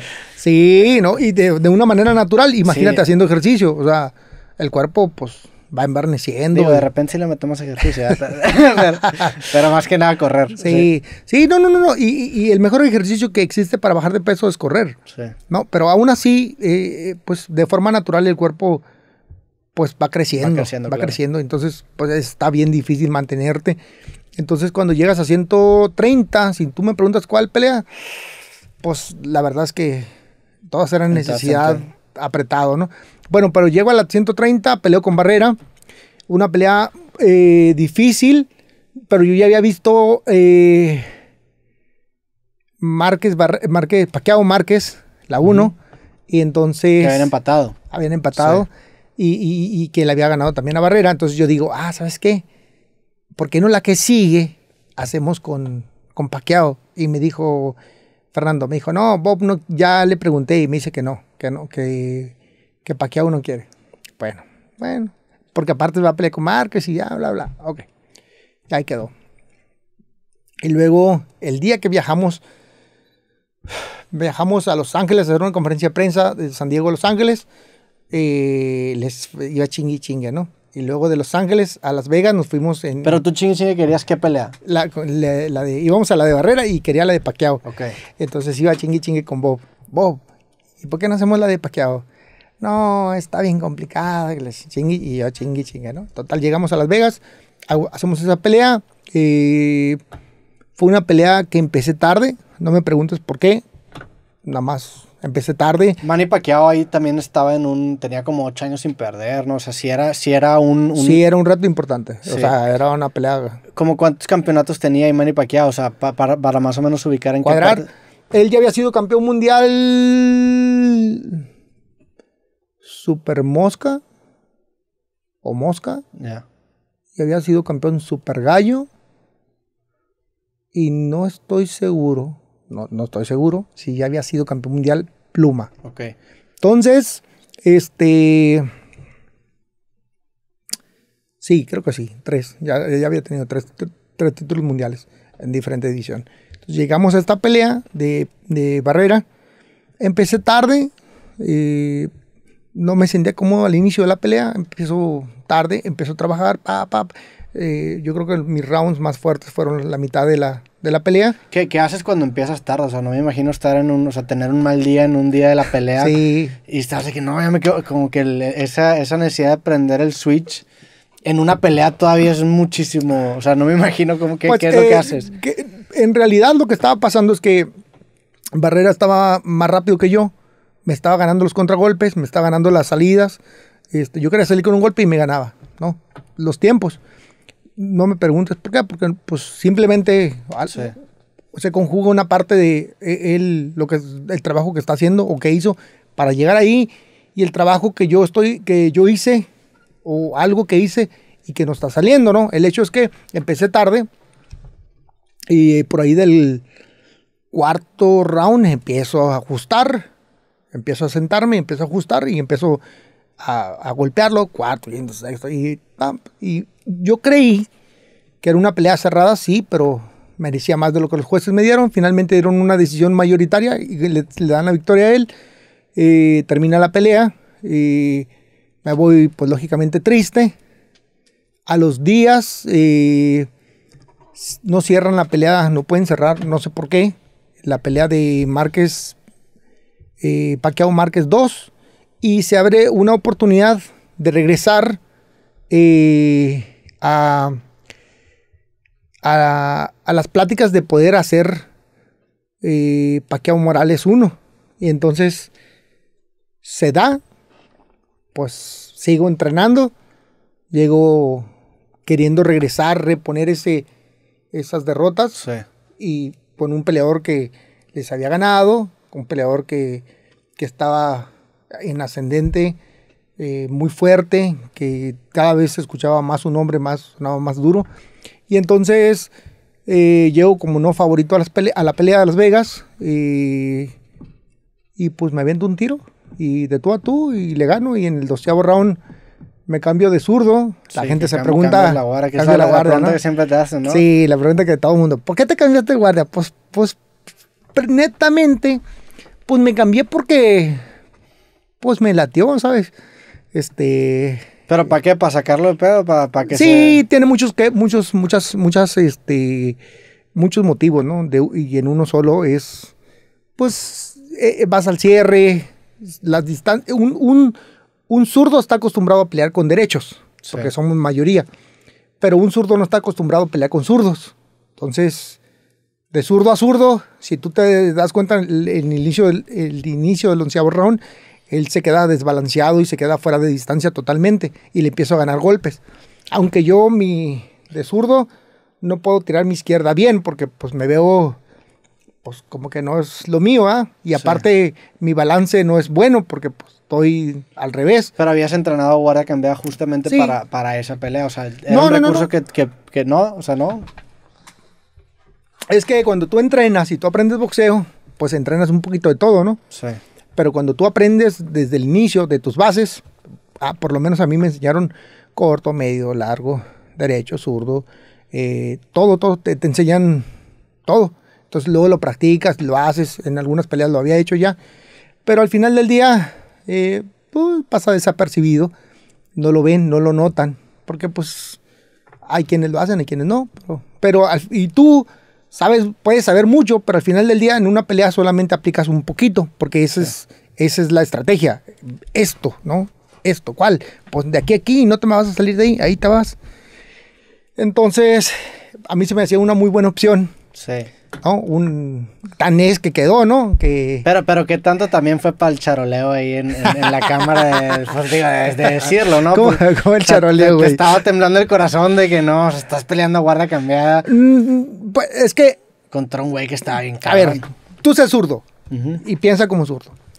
¿Qué haces si un güey se te para de zurdo cuando todas las peleas, toda la pelea fue derecho? Sí, pero, pero seguramente él tiene más experiencia peleando con zurdo que tú a No. guardia cambiada, ¿no? No, no, no. Él es zurdo, pero está acostumbrado a pelear con derechos. Pero ha peleado con zurdos. Eh, es que no es común. Ya. No es común porque la mayoría, la mayoría, el 90 y quíbole por ciento, somos derechos. Sí, sí, sí. O sea, muy poquitos boxeadores son zurdos. En su mayoría son derechos. Pero, Entonces, ¿qué, pero ¿qué crees que ha entrenado más? ¿Tú a guardia cambiada o él? Yo, zurdos? yo creo que yo a guardia cambiada. Ah, ok. Que él a zurdo. No, él no creo que haya, ni siquiera lo haya pensado. O sea, ni siquiera creo que lo haya pensado cuando me le cambié a zurdo. ¿Y evita- evitan las peleas los, entre zurdos? Hay como un acuerdo entre zurdos de que, eh, güey, los zurdos no nos... No, no, no, no, no. no. Es, es, Sí. es, es las habilidades que tengan tus. Por ejemplo, los derechos, nosotros eh, decimos, ese zurdo, hijo, no, ese pinche zurdo es bien difícil, ¿no? Agar, quítalo, mejor agarramos otro. Entonces le das vuelta, Sí. ¿no? O ese, no, ese cabrón, no, es bien difícil. ¿Es, una pelear". ventaja ser zurdo en el boxeo? Sí, lo debe ser, ¿no? Sí. Lo, lo debe ser, porque generalmente, la generalidad no estamos acostumbrados a pelear con zurdos. De hecho, eh, vuelvo al tema, son bien poquitos. Entonces, cuando te toca uno, híjole, pues sí, como que quieres darle la vuelta, ¿no? No está fácil. Sí. Pero yo, yo, me, yo ya estaba muy acostumbrado a pelear con zurdos. En el gimnasio cada ratito me tocaba subirme con los zurdos. Entonces, Zaragoza era zurdo y ya había tenido otros cuantos zurdos eh, antes de mi pelea, de mi carrera de campeonato. Entonces, no, no, no se me hacía difícil. Este, está cabrón, estaría cabrón analizar la, la- el porcentaje de campeones que hay zurdos a comparación del porcentaje de peleadores que hay zurdos. Eh, ¿Si hay mucho campeón sí. zurdo? No, no muchos. No. Por cada, por cada cienes contarás así con mis manos Ya, o sea, son los pocos. campeones que hay zurdos. Eh, los también, también los campeones que pelean de derecho y son zurdos. Ejemplo, Barrera, De la Hoya y otros cuantos son zurdos Y pelean de y derecha. pelean de derecho. ¿Por qué? Porque así les Porque así les enseñaron. enseñaron. ¿no? Es, es algo, pues a, a veces los, los entrenadores no quieren batallar y, no, a ver, cabrón, por eso, igual. póngaseme así, no, póngaseme así, no, pero mire, no, así, cabrón. Y te enseñan así. ¿Y esta, esta Pacquiao 1 en dónde fue la pelea? En el. ¿En dónde fue, güey? MGM, ¿no? ¿El MGM? MGM. MGM estuvo padre, este, yo iba muy motivado, era regresar al, al, al, al buen nivel, llegué con toda la actitud, hice cambios muy importantes en mi carrera, todo mi equipo de trabajo, eh, me quedé con lo más mínimo, hice un entrenamiento con un boxeo eh, clásico eh, y mínimo. ¿Qué es eso? Nomás contraté, bueno, al- al- al entrenador, mi papá. Y ya, güey. Los puros sparrings y, y yo. ¿Por qué?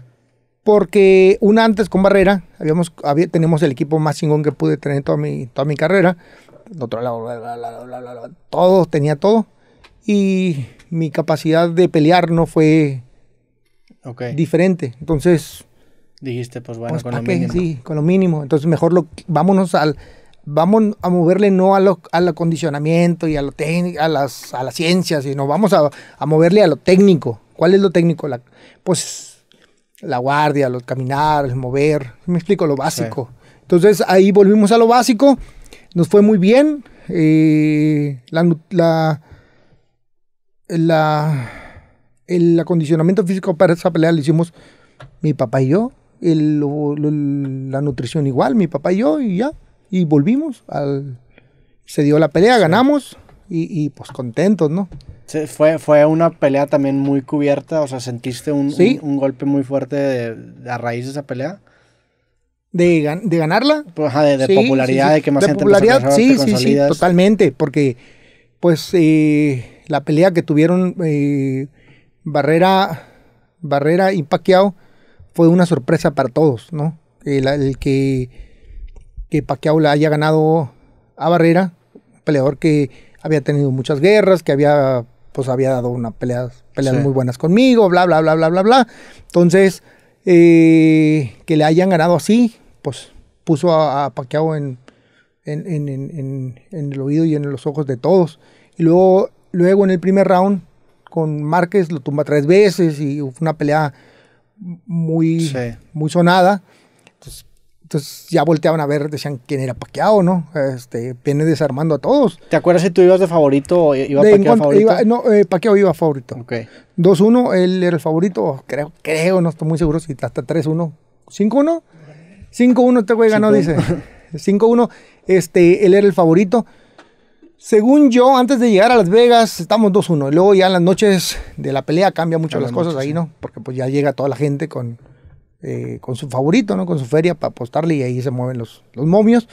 Dice que terminó 5-1. Este, pues yo, yo no, yo no Sí. escuchaba. Esa No, noche no. escuchaba a nadie, ¿no? ¿Y qué tanto, qué tanto afecta el, el público en el sentido de que cuando la, la gente te apoya, apoya al contrario, te tocó pelear en, en- en lugares en donde a lo mejor no te apoyaban tanto? Este, o, o no, te afectaba eso, no te afectaba eso. Pues es lo que te decía de las empresas, ¿no? Cuando tú, cuando tú tienes la suerte o tienes el, el, el apoyo y el respaldo de una empresa, pues tú peleas donde, donde siempre te conviene, ¿no? Ya. Sí, entonces yo peleaba en Tijuana, en Los Ángeles o en Las Vegas, pero siempre era mi casa, Sí. ¿no? Era local, jugaba, jugaba de local, ¿no? Pero aunque Eh. fuera con otros mexicanos, por ejemplo, en tus, en tus peleas Sí. de campeonato, siempre eras el...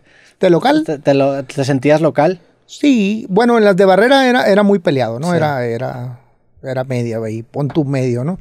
En las, las de Barrera. Pero fuera de esas, y aunque fuera los demás, sí, yo jugaba más de local. Parecía, ¿no? O sea, Sí. la gente, sí, sí, sí. Yo creo, según alucino que sí, ¿no? Digo, no, no. Yo me acuerdo que sí, ya me hiciste dudar, güey. Ya me hiciste dudar, pero no, sí, sí, sí, sí, Sí, sí, sí. sí, me sentía local. Siempre era en mi casa, ¿no? Sí, sí, sí. Después de la paqueo que sigue, ¿te vas a... ¿Te subes ya ligero? Eh, Pacquiao, no. ¿Te subes a ligero? Pierdes, pierdes al de ligero, sí, ¿no? sí, sí, sí, La no, prem- no, no, la no, no. Me llevan a, a hacer, hacemos una pelea en Los Ángeles.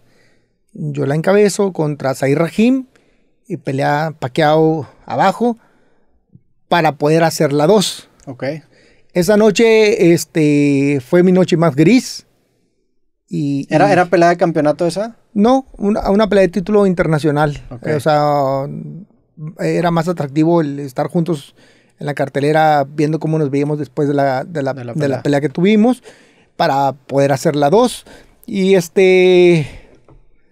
Hijo de la chingada, la noche más gris que tuve en mi carrera. Te dio la sorpresa el... Zair Rahim me dio la sorpresa, este, hizo su, su, su boxeo difícil, complicado y me desesperé, no supe qué hacer, me ganó. Esa dirías que es tu peor pelea. Es la, la que la... La peor pelea. Es la Que única muy pelea- sí. malo, es la Rahim. única pelea que has hecho así de... No, bueno, no, pues en muchas ha- ha- haces, cierras los ojitos de No, de no, la pero ahorita de todas las que te he preguntado, la única Ah. que, he hecho- que has hecho caras, sí. Es que en esa no debía haberla perdido.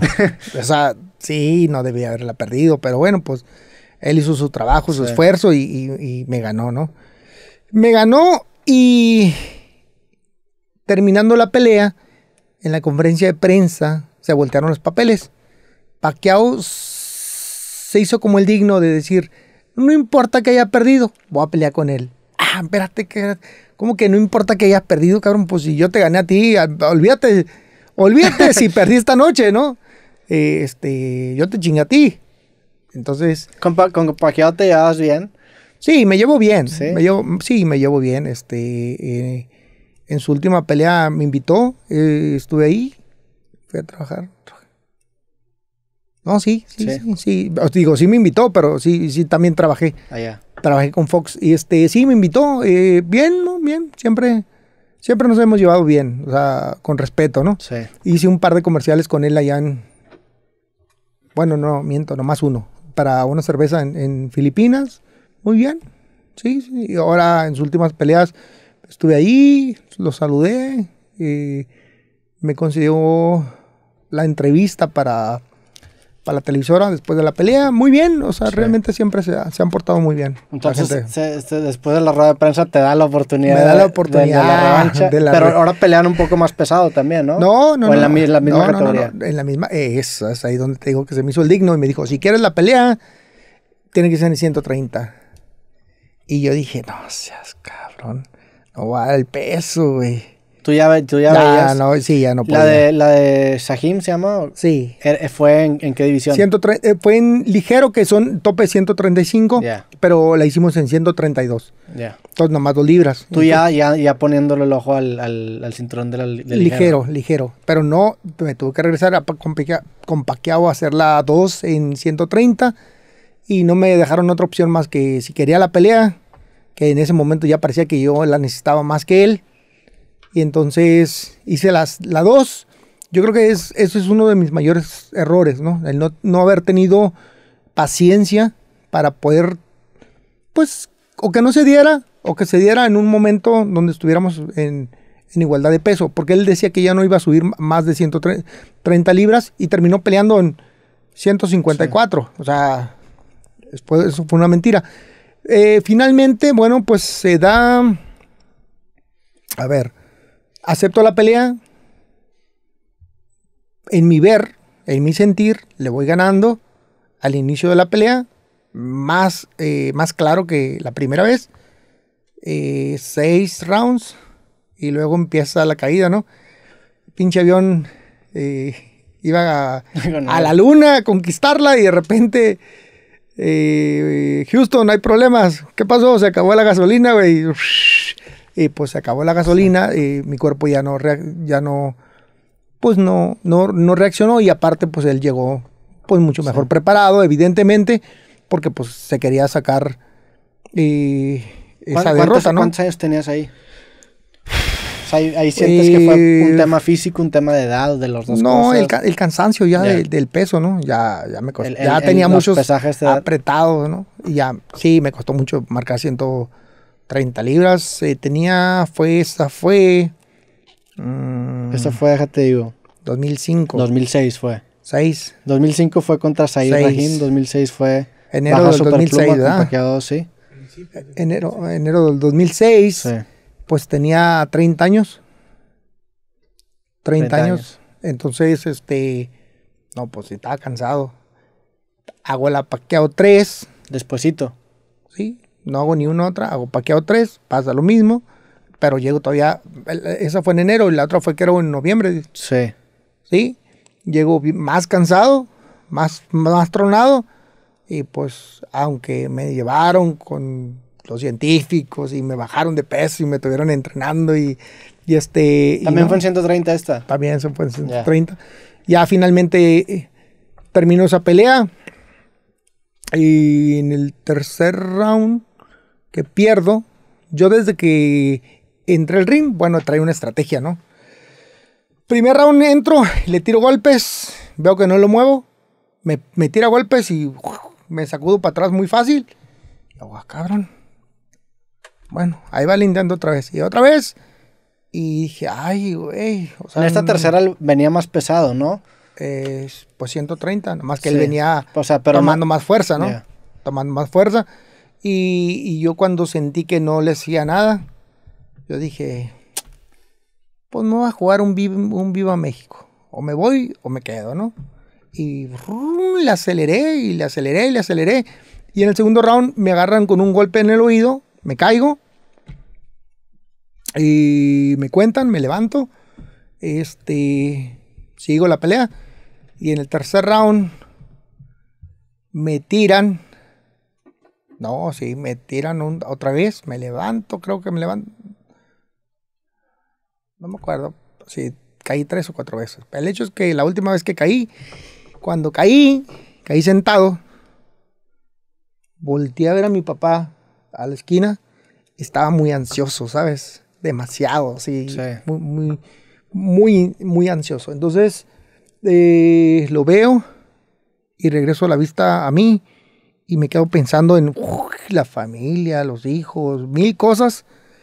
Y si realmente valía la pena levantarme Sí. cuando no me sentía, no estaba bien, eh, ya me habían tirado tres veces, o sea, ya- Sí, sería ir a pararte a recibir más daño en una pelea. más daño en una pelea. Que te Y, a lo mejor eh, me ha costado mucho que la gente, muchos, mucha gente no lo entienda eh, ese, y te digan, "Pu", y Sí, sí. joto, y este, y mucho, un sinnúmero de cosas, este, no entendiendo lo que, lo que realmente pasa. Entonces, yo, valiéndome madre, asumí la responsabilidad y volteé a ver a mi papá y le cerré el ojo, como diciéndole, hey, Sí. ahí estuvo ya, pues. Pues vivimos a pelear otro día, ¿no? Es Sí. esta mentalidad de decir de que, oye, Claro. pues esta ya la perdimos, pero no, tampoco hay que perderla sí, que sí. nos cueste más, ¿va? que nos cueste más, porque entonces luego pasan los accidentes, ¿no? Sí. Entonces decidí ya no pelear y, y prácticamente me quedé sentado. Me levanté, estaba un poco desorientado, terminé en el hospital, porque lógicamente el golpe en el oído, pues, pues te, te quita Te el balance, balance, te saca de balance y, y- y- y se puede confundir con eh, el que te sientas mareado Con una contusión. con un, un tema en la cabeza. Entonces te revisan forzosamente, me revisan para ver si, si estoy bien. Me dicen, no tienes ningún problema, estás bien, nada más es, es- seguramente es un tema del oído, no hay problema. Y me sueltan después de pues, como unas tres horas de, de examinarme y, y en la máquina y métete aquí, espérate, y suerito y la, ahí te traen. Bueno, pero finalmente, gracias a Dios, eh, salí bien de esa pelea. Eh, tomo una pelea más que es... Te vas, a, te vas a ligero, ¿no? Ahora sí. Voy a ligero ahora sí. Por el, por el campeonato. Campeonato mundial. Que tumbas al al güey como que no le cuentan, ¿no? No, sí le cuentan. No, es- lo más grave es que sí le cuentan. ah, no, que lo pusieron 10-9 el round, ¿verdad? En lugar de 10-8. que debe haber sido. 18 y, y este y un güey me dio en contra, el mexicano me dio en contra. Y en el segundo round le dan el round a él y el mexicano me da 10-8. Sí. O sea, en dos rounds me chingó varios puntos. ¿Pero por qué te puso 10-8? ¿Te Pues tumbó? nomás por su valor. ¿eh? Puedes dar un 10-8 sin que te tumben. Lo que pasa es que no me, no me tumbó, sino me, re- me resbalo y sin caigo. Y él cuenta por su valor 10-8. Pero si no te cuentan, en teoría no es un 10-8, ¿o sí? Eh, sí, sí, sí, es, es, es apreciación de... y- Si es que- demasiado dominante, Si es dema- de- demasiado así te lo pueden dar cargado, te 18. lo pueden dar 18. Claro, no necesariamente tienes que caer. Sin embargo, Pero son muy raros, ¿no? Que te den 18 Sí. sin caer. rarísimo. tendría que ser una- mega sí, paliza, ¿no? sí. Entonces realmente, este, pues así fue y, y finalmente dan una decisión en favor del campeón. Eh, fui, era la primera vez que yo creo que iba a la casa del campeón, que fue en Chicago. Era un gringo. México-americano. México-americano. David, David Díaz. Se la dan a él.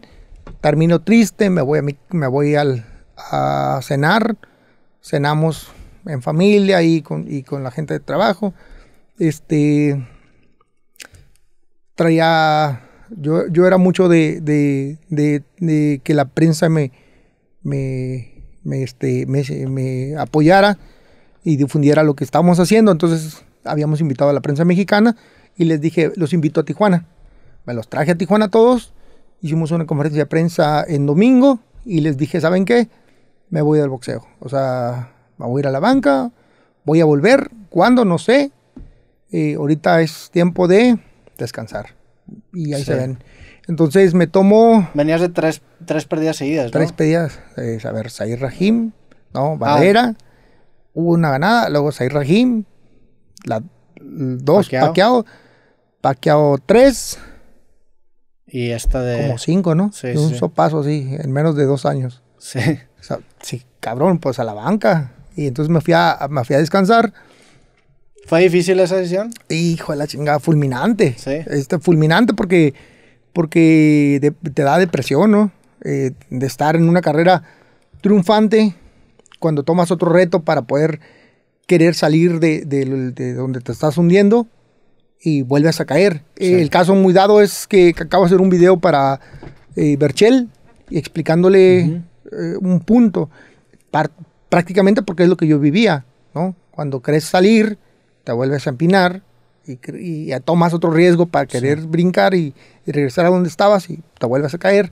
Entonces prácticamente, bueno, yo no tuve esa calma, evidentemente a, lo conocí un error. En, San Carlos hace como unos dos años, se me lo topé en un restaurante. ah, sí. Sí, sí, sí, Saludos al, famosísimo eh, Berchel, que, bueno, tuvo la mala suerte de, perder. Pero bueno, entonces, sabiendo eso, eh, que tenía que tomar descanso, me, me puse bien gordo, güey. Subí casi cerca de 100 kilos. 100, kilos, subiste. Ah, a los 100 kilos. no, te emociones. Eh. a los 100 kilos, este... De, de, estar peleando en, ¿qué ligero que 135. 135, 61 kilos y algo. O sea, subiste 40 kilos. 40 kilos. ¿No? Casco, no, no, no. Más así, gordo, güey. Gordo, cachetón, así. Y bueno, pues entonces, este... Empiezo a promover y empiezo un día a alucinar que voy a regresar al boxeo. ¿Cómo? No sé este, traía problemas familiares, traía problemas eh, de trabajo. Pues subir 40 kilos si, si es, o sea, sí, me imagino que te lleva también personalmente la chingada, ¿no? No, no, no me valía mal, no. Realmente estaba más enfocado en otras cosas. Estaba, estaba más en, mi pensamiento estaba perdido en, en, en lo que fue y no era también toda tu vida estando cuidando tu peso y ahora ya no tienes esa responsabilidad, pues también ahora si dices todo lo que no. Venga, chaval. Sí. claro. Sí, era, era muy común que hiciéramos, eh, comiera cualquier cosa, de todo, ¿no? Imagínate, güey, tantos años apretado, apretado, ya, ya, estaba feliz, contento. Eh, fue una etapa, no, no me siento orgulloso, pero bueno, pues pasó. Entonces, yo creo que la vida me puso ahí, tuve problemas familiares con la señora, tuve problemas en el trabajo, fue lo que estaba haciendo yo en ese momento. Y, entonces me tocó ir a, unas este, pláticas matrimoniales con la psicóloga y entonces la psicóloga me dijo, mira, hay una escuela de vida donde pueden entrar y tal vez ahí pues encuentran, encuentren respuestas. Entonces yo dije, ah, bueno, pues, pues vamos. Entonces fuimos y, yo, andaba, yo andaba promoviendo, en ese tiempo andaba haciendo boxeo para Cadena 3, este, en todo el país. Entonces, estaba yo en Nayarit y me ofrecen pelear en Nayarit. Yo les digo, no, yo no quiero pelear. Anímate, la hagamos la, el siguiente año, la chingada, 2009. Hagamos la 2010 y la chingada, bla, bla, bla, bla, bla. Yo dije, mmm. mira, le dije, voy a entrar a una escuela de vida. Eh, voy a ver ahí según me voy a encontrar, voy a saber qué, qué quiero. Eh, ¿Una escuela de vida?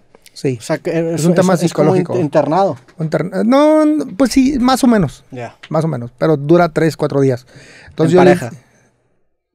Eh, no necesariamente, no, Ok. bueno, no, tú, tú, tú, Tú solo. y la otra persona, tu En su- pareja, en su- pues, en su es su pedo, ¿no? Entonces, porque cada quien tiene que, cada quien tiene que sanar lo propio, ¿no? Ya. No, no- no es un tema. Entonces yo dije, "Ah, eh, salgo el domingo, el lunes yo te marco 9 de la mañana. Órale, va, nos dimos la mano, me fui, entré a esta escuela de vida. En el primer día, después de tener un día un poquito tedioso por, por la mecánica del- de, de cómo va eh, este, esta escuela de vida, este, me llega el flachazo y digo, "Chu, voy a regresar. Chingue su madre, voy a regresar. Y, todo el, me aventé todo el, todo el, el- la escuela de vida, viendo detalles, encontrando y entendiendo por qué, por qué actuaba de una manera, por qué muchas respuestas que nadie te dice nada, nadie te, nadie te, te juzga, eh, no es un tema ni, ni de Biblia, nada, es un tema psicológico, nada Sí. más de ejercicios donde te vas dando cuenta quién eres, qué haces, qué has cometido errores, eh, cómo puedes mejorar. Y entonces decidí empezar a componer mi vida en ciertos aspectos, pero también entendí que lo que yo amaba era el boxeo, lo que a mí me gustaba era el boxeo y que lo único que sabía hacer más que cualquier otra cosa era el boxeo. Entonces yo dije, bueno, vamos a boxear. Entonces, Tú pesando 100 kilos. 100 kilos. Ok. Entonces, dijiste, vamos a darle. vamos a darle, salgo de ahí y entonces digo, ¿sabes qué?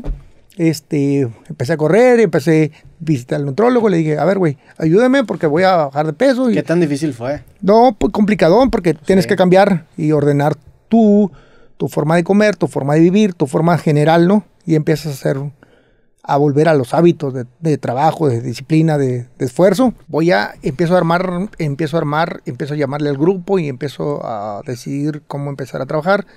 Voy con mi nutriólogo y me, le digo, ¿en cuánto tiempo estoy listo para pelear? Y me dice, saca cuentas y me dice, cuatro meses. Me pongo a trabajar. tra, tra, ¿Cuatro meses para pelear en qué, en qué peso? en, en welter, En welter. 147 libras. Ok. Y empiezo a trabajar, ah, sí, empiezo a chingarle bien duro.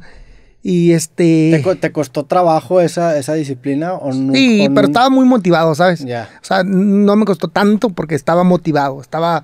ah, creía en algo, alucinaba con algo. Entonces tenía en mi mente volver y ganar ese cuarto título. Entonces, pero más allá del cuarto título, hoy te digo que estaba motivado, estaba...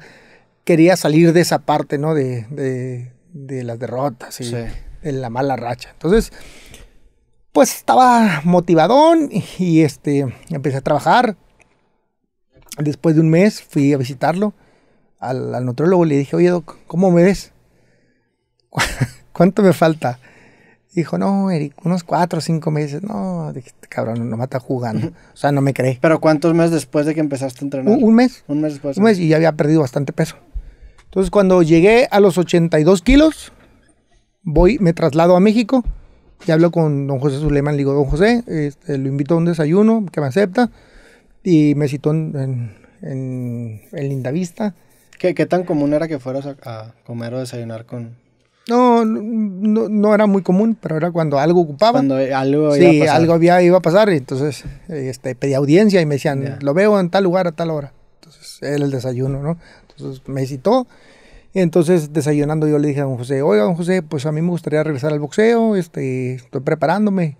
Oh, sí, se ve más flaco, pero ya está muy viejo usted para el boxeo. y lo vi feo y me dice, pues ¿cuántos tiene? Le dije, tengo 33 años, algo así. Ah, caray, me Creía dice, que tenía más. Sí, más. Le dije, no, lo que pasa es que yo empecé muy chico. Este, hice peleas muy, muy fuertes. Muy chico. Me, me dijo, ah, ya. No, me dijo, no está tan grande. Pero bueno, me dijo, este, ¿y, y por qué quiere volver? No, pues porque alucino, quiero ganar y quiero ganar ese cuarto título. Está bien, me dijo. Tómese el tiempo y vamos viendo. ¿Qué va a hacer ahorita? No, pues yo quiero, quisiera pelear en, en febrero, porque tengo una propuesta de pelear en febrero o marzo, inicios de marzo, algo así, en, en Nayarit. Ah, bueno, me dijo. Y en ese año eh, se desató un problema ahí de... de- ¿Eso, eso qué año fue? ¿2009? 2009 para el 2010. Llevas dos años fuera. Sí, Ok. 2009 para el 2010. Y en el 2010, este, iba a pelear en Nayarit por- con la propuesta que me hicieron. Pero, perdón, llevas dos años fuera, fuera de que no ibas ni siquiera al gimnasio. No, nada, nada. Nada, o sea, si te Ah, alejaste. Te dije que andaba casi Sí, en pero casi mínimo un kilos. esparrito no te aventabas. Nada, güey, ya. nada, olvídate te- del te- boxeo. Te, te creo que cardio no, pero nada, o sea, te desentendiste. Me desentendí del boxeo como para yo, yo haciendo. ¿no? Pero yo promovía. O sea, andaba de promotor y traía peleadores y hacía cosas. Hacía las peleas para la televisión. Y entonces luego, eh, 2000, ¿qué te estaba contando? 2000, Na- Nayarit en 2000. Nayarit, y, y es en ese tiempo había mucha inseguridad en Nayarit, de tal manera que me hablan y me dicen en enero, Eric, la pelea no te la vamos a poder cumplir. Ah, ok. Ah, no te preocupes. Está bien. ¿Ya tenías con quién y todo? Mm, todavía no, pero ya estaba yo hablando con, pues, con todos. Sí. Entonces bajé más de peso, ya estaba más, más ligerito. Ya, ya quien me veía decía, va en serio, Sí, va en serio, este güey está trabajando, ¿no? Entonces hablé con la televisión, eh, con Televisa, hablé con, en ese tiempo era La Corona, eh, hablé con, ya había hablado con Don José. Y entonces dije, la voy a hacer, la voy a hacer, yo voy a pelear. Entonces dije, ¿a dónde voy? ¿A dónde voy? Y me vine a pelear aquí a Monterrey. Sí. Peleé en la, en la Arena Monterrey. La verdadera capital de México. dices, dices. No, este, sí, y, y vine, vine a, este, a pelear aquí en Monterrey. Dije, vamos a pelear en Monterrey. ¿Cuándo? Marzo. Y si te das cuenta, la pelea con, con, con Pacquiao y algunas otras peleas, y, y mi debut fue en marzo. Sí.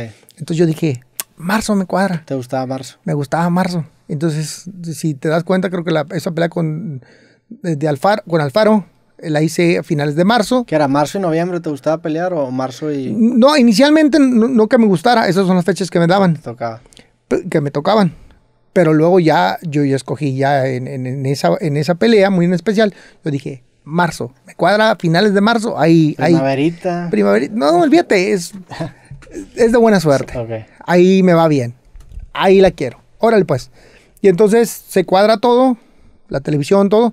Este, hablo con mi papá y le digo, papá, eh, quiero pelear otra vez. Ay, hijo, me dijo. Se rascaba la cabeza y me dijo, déjate esas chingaderas, hombre. Ya, dedícate a ver qué chingados, me dijo. Dedícate a tus hijos, a tu negocio, a tus cosas. Deja el boxeo. Le dije, no, no creo. Yo creo que voy a pelear.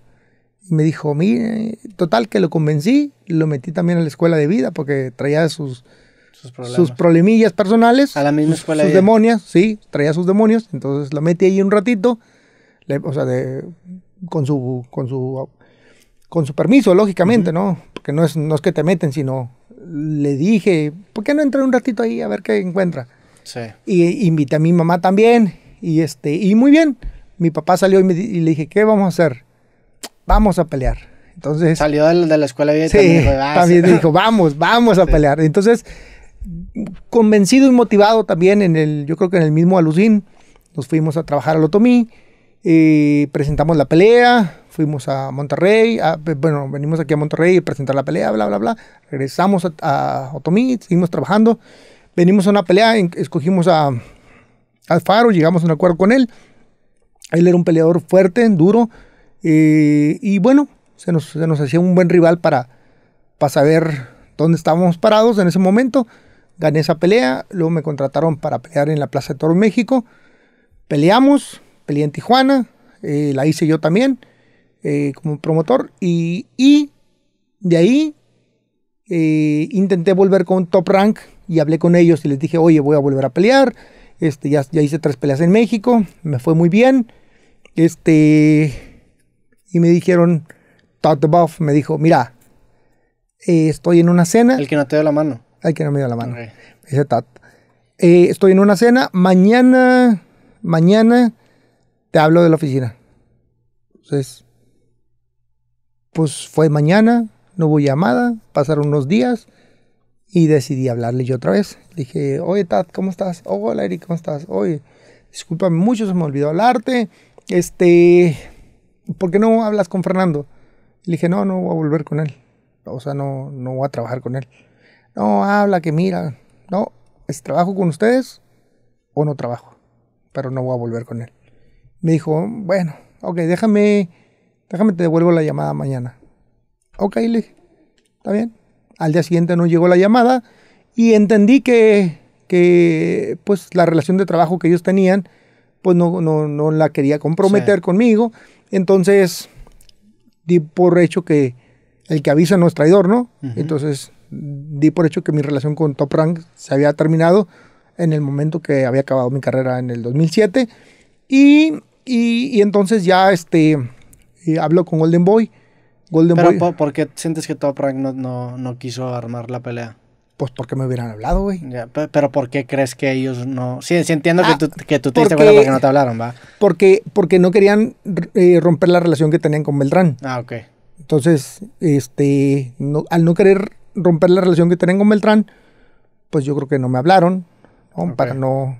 Porque me hicieron la propuesta que me fuera con él, que hablara con él. Yo les dije que no. Entonces, hablo con Golden Boy y entonces me dicen, oye, pues está bien, pero no tienes contrato. Le dije, no, seguro, seguro. Me dicen, ok, este, ¿por qué no haces una nota y la publicas? De, pues que digas que estás, estás coqueteando con nosotros. Ah, bueno, saco la, sacamos la nota. ¿En dónde sacaste la nota? En los periódicos nacionales. El esto, ah. les, hablé, les, les expliqué el tema, les dije, por favor me pueden echar la mano a hacer una nota donde mi próxima movida es regresar al boxeo y irme a, Golden Boy. Y me dijeron, Simón. Y entonces hicieron la nota, salió publicada. Ellos vieron que no había reacción de ninguna parte porque el dueño luego, luego sale, ¿no? El, sí. Eh, eh, ese no se puede ir para allá porque ese peleador pertenece a tal parte. Entonces, como no, pertenece, no o sea, era para eso, para ver si sonaba una alarma. Para ver si sonaba una alarma. Como no, no sonó nada, ellos tuvieron la confianza, llegamos a un acuerdo, hicimos la primera pelea contra Marcos Maidana, una pelea complicada que yo creo que es la pelea que a mí me gusta mucho, una pelea de las muchas, de las muchas que tuve fuertes, pero me gusta mucho en especial porque creo que con esa pelea gané el respeto de la prensa. Porque era una pelea difícil, él era, más joven que yo, más fuerte que yo, más pesado que yo. Y, estaba noqueando. ¿en qué, peso? ¿En qué peso? Súper ligero. Súper ligero. 63 kilos y medio. Entonces él venía noqueando a la mayoría de sus oponentes. Y entonces, pues yo de ser un super gallito, aunque haya subido, pues era pues un super gallito panzón, ¿no? O plumita panzón. Y entonces él era un super, super ligero natural. Y entonces estaba un poquito más alto que yo, más, ¿Ahí había, había peleado con Mayweather o eso fue Todavía no, no, después. Ya. Entonces, a mí toda la pinche, toda la promoción fue traerme en chinga con que me iban a noquear. Y que les preocupaba y que me iban a noquear. Y, y un día yo me les enfrenté y les dije, no, a ver, espérense ese güey es más lento que yo, yo soy más rápido. Eh, él es más joven, sí, pero yo tengo más experiencia.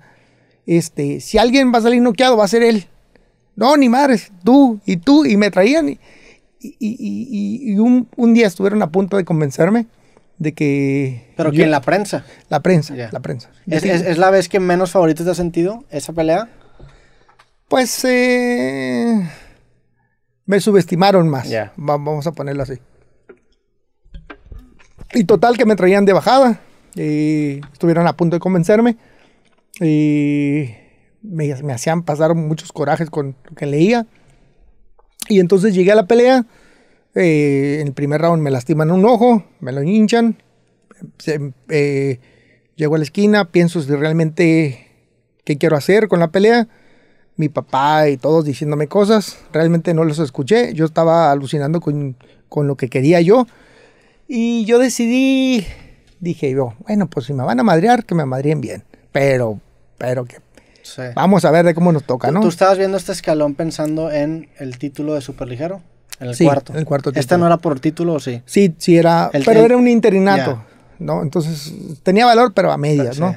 Entonces, eh, pues ahí te voy. Salí para el segundo, para el tercero, para el cuarto. Y allá por el séptimo, octavo, por ahí le agarro un golpe. Eh, y lógicamente en todos estos rounds le empecé a subir el tono. Empecé a verme mucho mejor. Empecé a verse los detalles de lo que realmente quería ofrecer, quería hacer, quería lograr. O sea, mis sueños ahí estaban reflejados, eh, pinceleados con, con el pasado. Y yo creo que al término de la pelea, eh, el respeto que gané del, de la prensa fue grandioso. Eh, ¿Perdiste por decisión unánime? No, no me acuerdo si por decisión. Unánime. Pues decisión, pues perdí, ¿no? Ya vale, madre, si, es unánime. si es unánime, si es mayoría. Este el, perder por decisión de vida eh, te sirve de cierta consolación o te vale madre, nada más. Eh, pues si lo quieres ver como muy, muy piqui, así de que, ay, la, muy. Sí, muy. No perdí tan feo. Si perdiste, güey, pues ya, o sea, ¿qué le haces? Entonces perdimos ahí, pero yo me acuerdo que en el cuarto estaba toda la prensa de México, estaba yo sentado y los estaba escuchando. No, te robaron y la chingada, yo los estaba escuchando. Y yo los volteaba a ver. Y los volteaba a ver y les dije, bueno, pues ya nos madrearon de, todas maneras, ¿no? Pero, pero alguien me hizo una reflexión y me dijo, sí, pero la verdad es que la prensa en general se expresó muy bien de ti. O sea, les gustó mucho lo que hiciste. Y ahí sí, te voy a, ya lo he dicho muchas veces, y que me puse a leer y la neta me sacaron las de cocodrilo, ¿no? Porque al término del día eh, había logrado lo que en muchas peleas no había podido lograr, aún ganando. El respeto, que eso es lo más cabrón, ¿no? Que es como se expresan de ti. Porque aún ganando la pelea, dicen, ah, pues una pelea que así, y siempre hay un, un porqué, pero no te, no te ofrecen el respeto como tal. Entonces ahí yo creo que sí les gané el respeto y me gané, los convencí de que, de que era un auténtico peleador que, que, tenía un sueño y una locura. Pero eso no te había pasado antes. No. O sea, siempre era de que, bueno, gané el campeonato, pero, siempre era el pero. Sí, siempre hay un pinche pero, ¿no? Entonces, esa vez yo creo que les gané. Me gané ese respeto que, que buscaba. Eh, me fui a la banca a descansar un ratito y me dicen, Eric, hay la oportunidad por las reglas y por todo. Eh, este, estás clasificado más alto y está la oportunidad de título mundial. Entonces yo dije, ok. Y me dijo don José, me lo encontré en un evento y me dijo, ¿quiere la pelea de título mundial peso super ligero? ¿Sí o no? Sí. ¿Sí la quiere? Sí. Con el que sea. El más alto.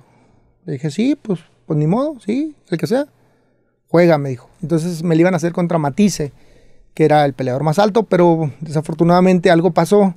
Faltando tres semanas para la pelea, se cayó la pelea y tomó su lugar Pablo César Cano, que era el siguiente más alto. Y bueno, Pablo César Cano era un peleador fuerte, pegaba duro, joven, 21, 22 años, pegaba duro y más y grandote el güey. Entonces nos dimos un buen trence, pero eh, me lo comí prácticamente con la experiencia, ¿no? Eh, ese día iba muy motivado.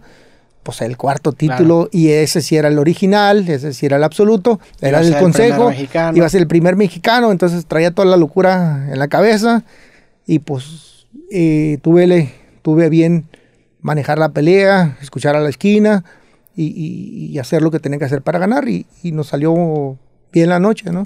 Esa, noche que ganaste tu cuarto título, ¿cómo la viviste? Eh, fíjate que tranquilo porque ya estaba viejón. Sí, ya estaba viejón. Ah, acostumbrado, imagínate. ¿Pensaste en el retiro después de esa pelea? ¿Dijiste, ¿me, voy aquí o no? Te platico. Yo, cuando volví al boxeo, yo dije, voy a hacer cinco o seis peleas. Ok. Y me voy. O sea, me puse una meta. Eh, llevábamos eh, tres en México, Maidana, la del título, cinco. Entonces, las que se dieran, ya estábamos del otro lado, ¿no? Entonces se dieron las dos últimas que malamente tomé. Pude haber eh, estirado un poquito más mi carrera, pero no. Tuve esas dos peleas con... Mm, Dani García, ¿no? Dani García y, la primera pues no me fue bien y la segunda pues fue, fue fatal y ya tuve... La primera fue la que le hiciste así, ¿no? La, este, sí, sí, sí, la primera. la primera. Entonces, este Pero algo te iba a explicar. Sí, te, te pregunté de la noche de, de que ganaste la, la cuarta. Ah, ¿Cómo lo esta- celebraste? Ya sí, ¿cómo lo viejón, el Ya estaba viejón. Entonces, ahí te va, fíjate. Cuando peleé en, en- en- en- aquí en Monterrey, acostumbrado después de pelear a ir a hacer fiesta y la chingada. Terminó la pelea y, y decidimos ir a cenar.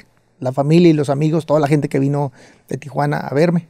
Fue aquí en Monterrey. esta Sí, pelea. fue aquí en Monterrey la primera de después de dos años y tanto, ¿no? Me siento a Ah, comer. la primera de que Sí, regresaste. sí, que regresé. Ya. Entonces regreso, entonces empiezo a comer. Y en la cena me estaba quedando dormido. Me quedé dormido. así. Me fui a dormir. La segunda, en México, eh, cené y fui a dormir. y, y en Tijuana, prácticamente llegué a la cena, comí algo muy rápido y les dije, ¿saben qué? Estoy bien cansado, voy a a dormir. Gané el título mundial, eh, el cuarto. Bajé un ratito al casino, pero me ganó el sueño y me subí a dormir. güey. No, ¿Dónde ya, fue? ¿También en Mandalay? Eh, fue en el... No, en el MGM. En el MGM. MGM. Y entonces terminé muy cansado y decidí, no, ya, ahí se ven, yo estuve, yo me fui a dormir. Así festejé mi cuarto título, con un ratito en el casino. Y me fui a dormir, y este...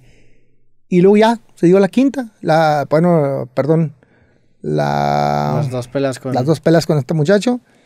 Y las- la sexta y la séptima, y a dormir, ya, se acabó la carrera del terrible. a la banca, my friend, ahora sí, de por vida. En, en, en tu carrera eh, seguías tú los rankings de libra por libra porque estuviste en el top 10 como unos 7 años, ¿no? Del, creo que hasta el 2005 estuviste siempre en el top 10 de, de los Sí. libras por libra. ¿Vos te- ¿Era algo que te importaba mucho? No No, tanto? no, no tanto, porque no, no, no lo seguía. Y además había un, eh, ¿qué, qué chingados le iba a seguir? Pues sí, en esa época, eh, si tú ves los números, estaba Hopkins, De La Hoya, Trinidad, o sea, estaban Sí. güeyes bien duros que, que acaparaban la televisión. Entonces, realmente, pues cuántas oportunidades tenías ahí de, de participar contra los más fuertes. En ese momento. O sea, el- Sí, claro, porque Sí. ahí vas contra todos, ¿no? Ahí era muy difícil, muy complicado, ¿no? Estábamos en esa época peleando por tener televisión. sí. ¿Dónde chingados íbamos a estar peleando por, por ser el mejor del mundo? No, pues no. Y, y luego te, te, te retiras, digo, pasan estas dos peleas, dices, tomas la decisión final, ¿te tardaste? ¿Fue, ¿Fue en el momento de la última pelea o cuándo fue donde tomas esta decisión? No, no, no, no, no. Eh, terminando la segunda pelea con Dani García. Ah, te retiras en el 2014, son dos años después de la... de Sí, la- sí, sí, sí. Ahí todavía alucino y digo, bueno, voy a ir a Tijuana. Porque tenía, es más, no, tenía una pelea ya aquí en Monterrey contra Maromero Páez. Ok. Iba, iba, venía a pelear aquí con Maromero Páez. Y la penúltima y la última le iba a hacer en Tijuana, ¿no? Para ya irme del boxeo ahora sí. Sin embargo, cuando estaba entrenando y vine a presentar la pelea, todo estaba bien hasta ahí. No me iba tan bien en el gimnasio como yo quería, pero todavía seguí con el alu- alucín.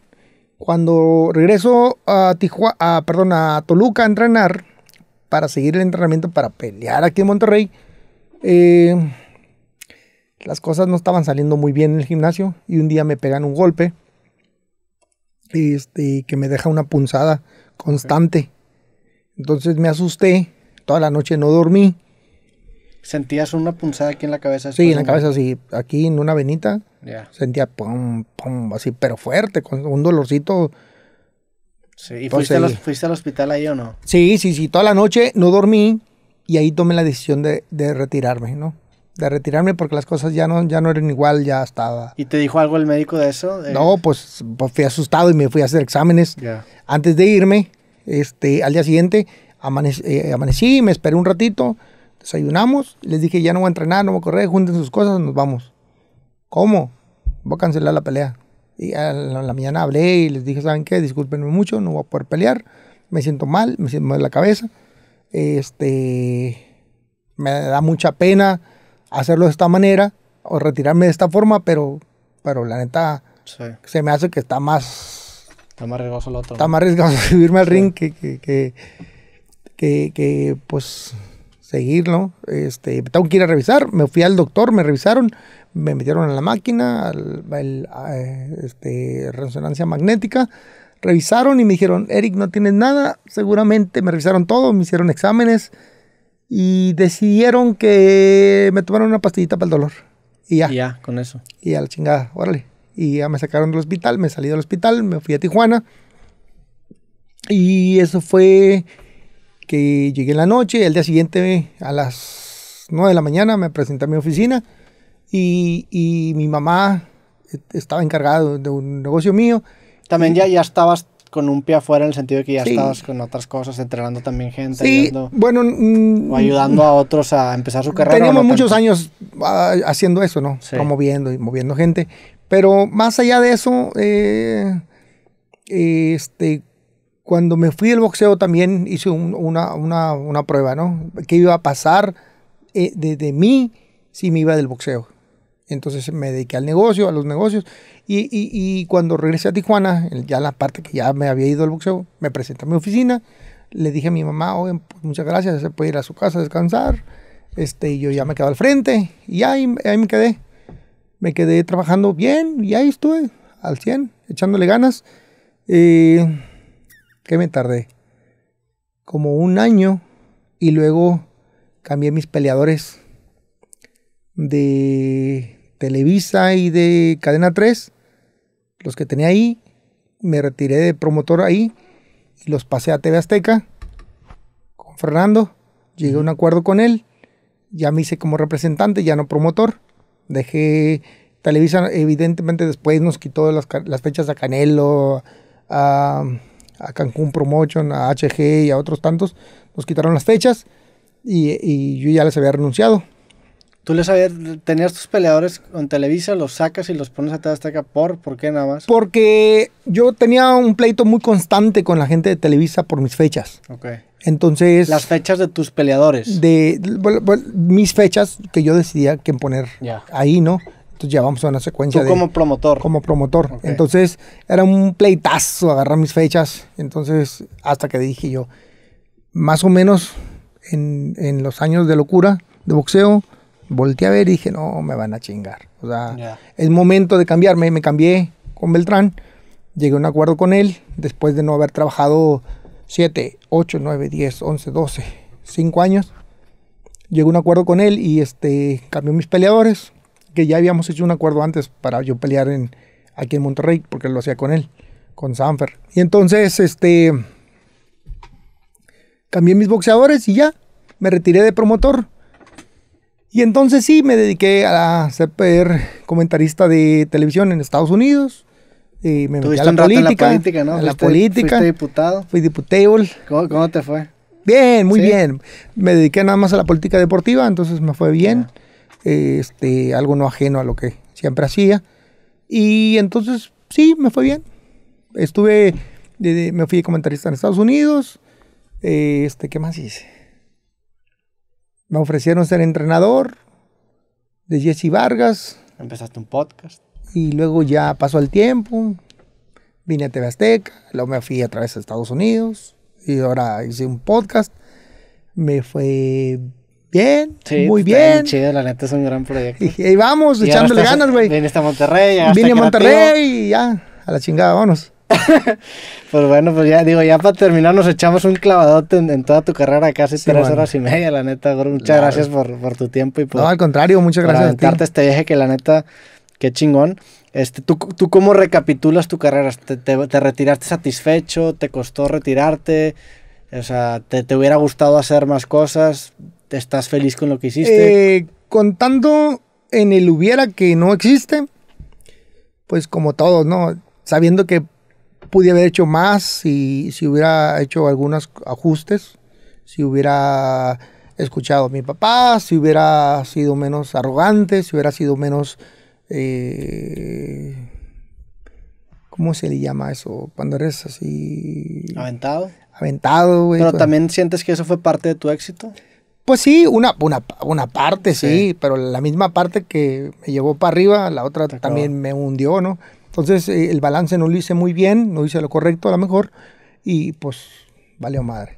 Pero al final del día, muy contento por eh, este, después de mí, de tan solo haber roto el, el- el récord de Chávez, eh, se vinieron un sinnúmero de peleadores. Hoy mismo hay como cuatro o cinco campeones mundiales Sí. en- en, este, después de mí con cuatro títulos en diferente división. Y seguramente habrá otros más, ¿no? Porque la idea es que mi idea era no llegar para que nadie lo rompiera, sino más bien es llegar para motivar a los demás y Para que enseñar el camino. para enseñ- abrir el camino y decirles, hey, nomás porque no quieren, güey, ahí está la puerta abierta, ¿no? Y, yo, y eso me motiva mucho. A lo mejor no vamos a ser tan famosos como Chávez, ni vamos a tener el cariño como Chávez, pero sí creo que abrimos una puerta que mi compadre no abrió. Y entonces este, estoy contento con eso, porque al final del día, al margen del cariño y lo que, lo que, lo que quede en el papel de historia, eso es importante. Entonces para mí sí es importante estar ahí en, Claro. en, un, en, un, en un logro, ¿no? No, pues qué De chingón. un- todo un claro país. que debería estar orgulloso. La neta, tuviste una, una carrera bien cabrona. Tuvimos una carrera muy bonita, eh, una carrera este, genial. Yo estoy agradecido con la vida de Y haberla más, tenido. más lo que te sigue todavía. Ahorita Pues, con, con este proyecto del podcast que la neta se me hace bien chingón. Ojalá sigas este, con ese proyecto también con Barrera. Siento que hacen una, una combinación bien chingona y con la historia pues todavía enriquece más las interacciones. Yo como fan realmente disfruto muchísimo. Sí, este, bueno, en realidad este podcast. nosotros, nosotros nunca hicimos nada que, porque no estuviera, ¿eh? Este, e- él quedó, creo que quedó muy en manifiesto en el programa que, de su regreso, que él fue el que se tomó las vacaciones y fue el que andaba en todos lados, menos Sí. donde tenía que ir a trabajar. O sea, nosotros nunca le hicimos el... De hecho, yo le hablé, le dije, güey, vuelve, déjate de cosas, regresa al programa, hombre, no va a pasar nada. Pero bueno, pues cada quien, su, cada quien sus cosas. Yo sí creo que al margen de cómo nos llevemos, y al margen como la relación que tengamos o no tengamos de amistad, creo que es un buen proyecto y un, como tú lo dices, un proyecto que juntos eh, logramos eh, impactar más que Sí. solos, ¿no? Entonces, bueno, Está, está bien interesante. O sea, siento que ustedes como boxeadores como que normalizan sus experiencias, pero para una persona que no conoce las, las anécdotas está bien, está muy chingón. O sea, sí es, sí es un proyecto que vino a refrescar mucho, siento yo, el boxeo mexicano y a gente como yo que a lo mejor no estamos tan informados o tan involucrados de hace muchos años, pues es un, es un proyecto que realmente hace eso, genera nuevos aficionados en el boxeo. Ojalá que, ojalá que sí, y ojalá que el espacio como este nos dé permiso de que mucha gente sepa de un round más, punto, un round más MX. Este, así nos encuentra en todas las redes sociales, incluido Facebook, Twitter, Instagram, YouTube, donde esa, esa gente pueda darse una vuelta por allá este, y encontrar algo diferente, algo sobre el boxeo, que no nada más eh, hay muchas historias de grandes, grandes personajes del boxeo que hemos tenido en México y que somos una potencia mundial y que tenemos grandes, grandes, grandes eh, talentos y grandes cosas que ofrecerle a los jóvenes para impulsarlos a hacer algo diferente. Pues bueno, le recomendamos a la gente el podcast Un Round Más si es que no lo conocen. Y con esto terminamos el, el episodio creativo. Cuatro horas. Tuvieron buenas. Madres. Este, a toda la gente te podemos seguir en redes sociales como. Arroba terrible 100, ahí tienen y próximamente vamos a sacar unos proyectos que intentamos redondear el boxeo en diferentes, para diferentes edades. Pues bueno, ya sabes que aquí tienes la puerta abierta. Si Gracias. algún día nos echamos una parte 2, yo estoy puesto. A toda la gente que escuchó o vio este episodio creativo, les agradecemos, les mandamos un fuerte abrazo y nos vemos en el próximo capítulo. Sobres. Bye. Chingón.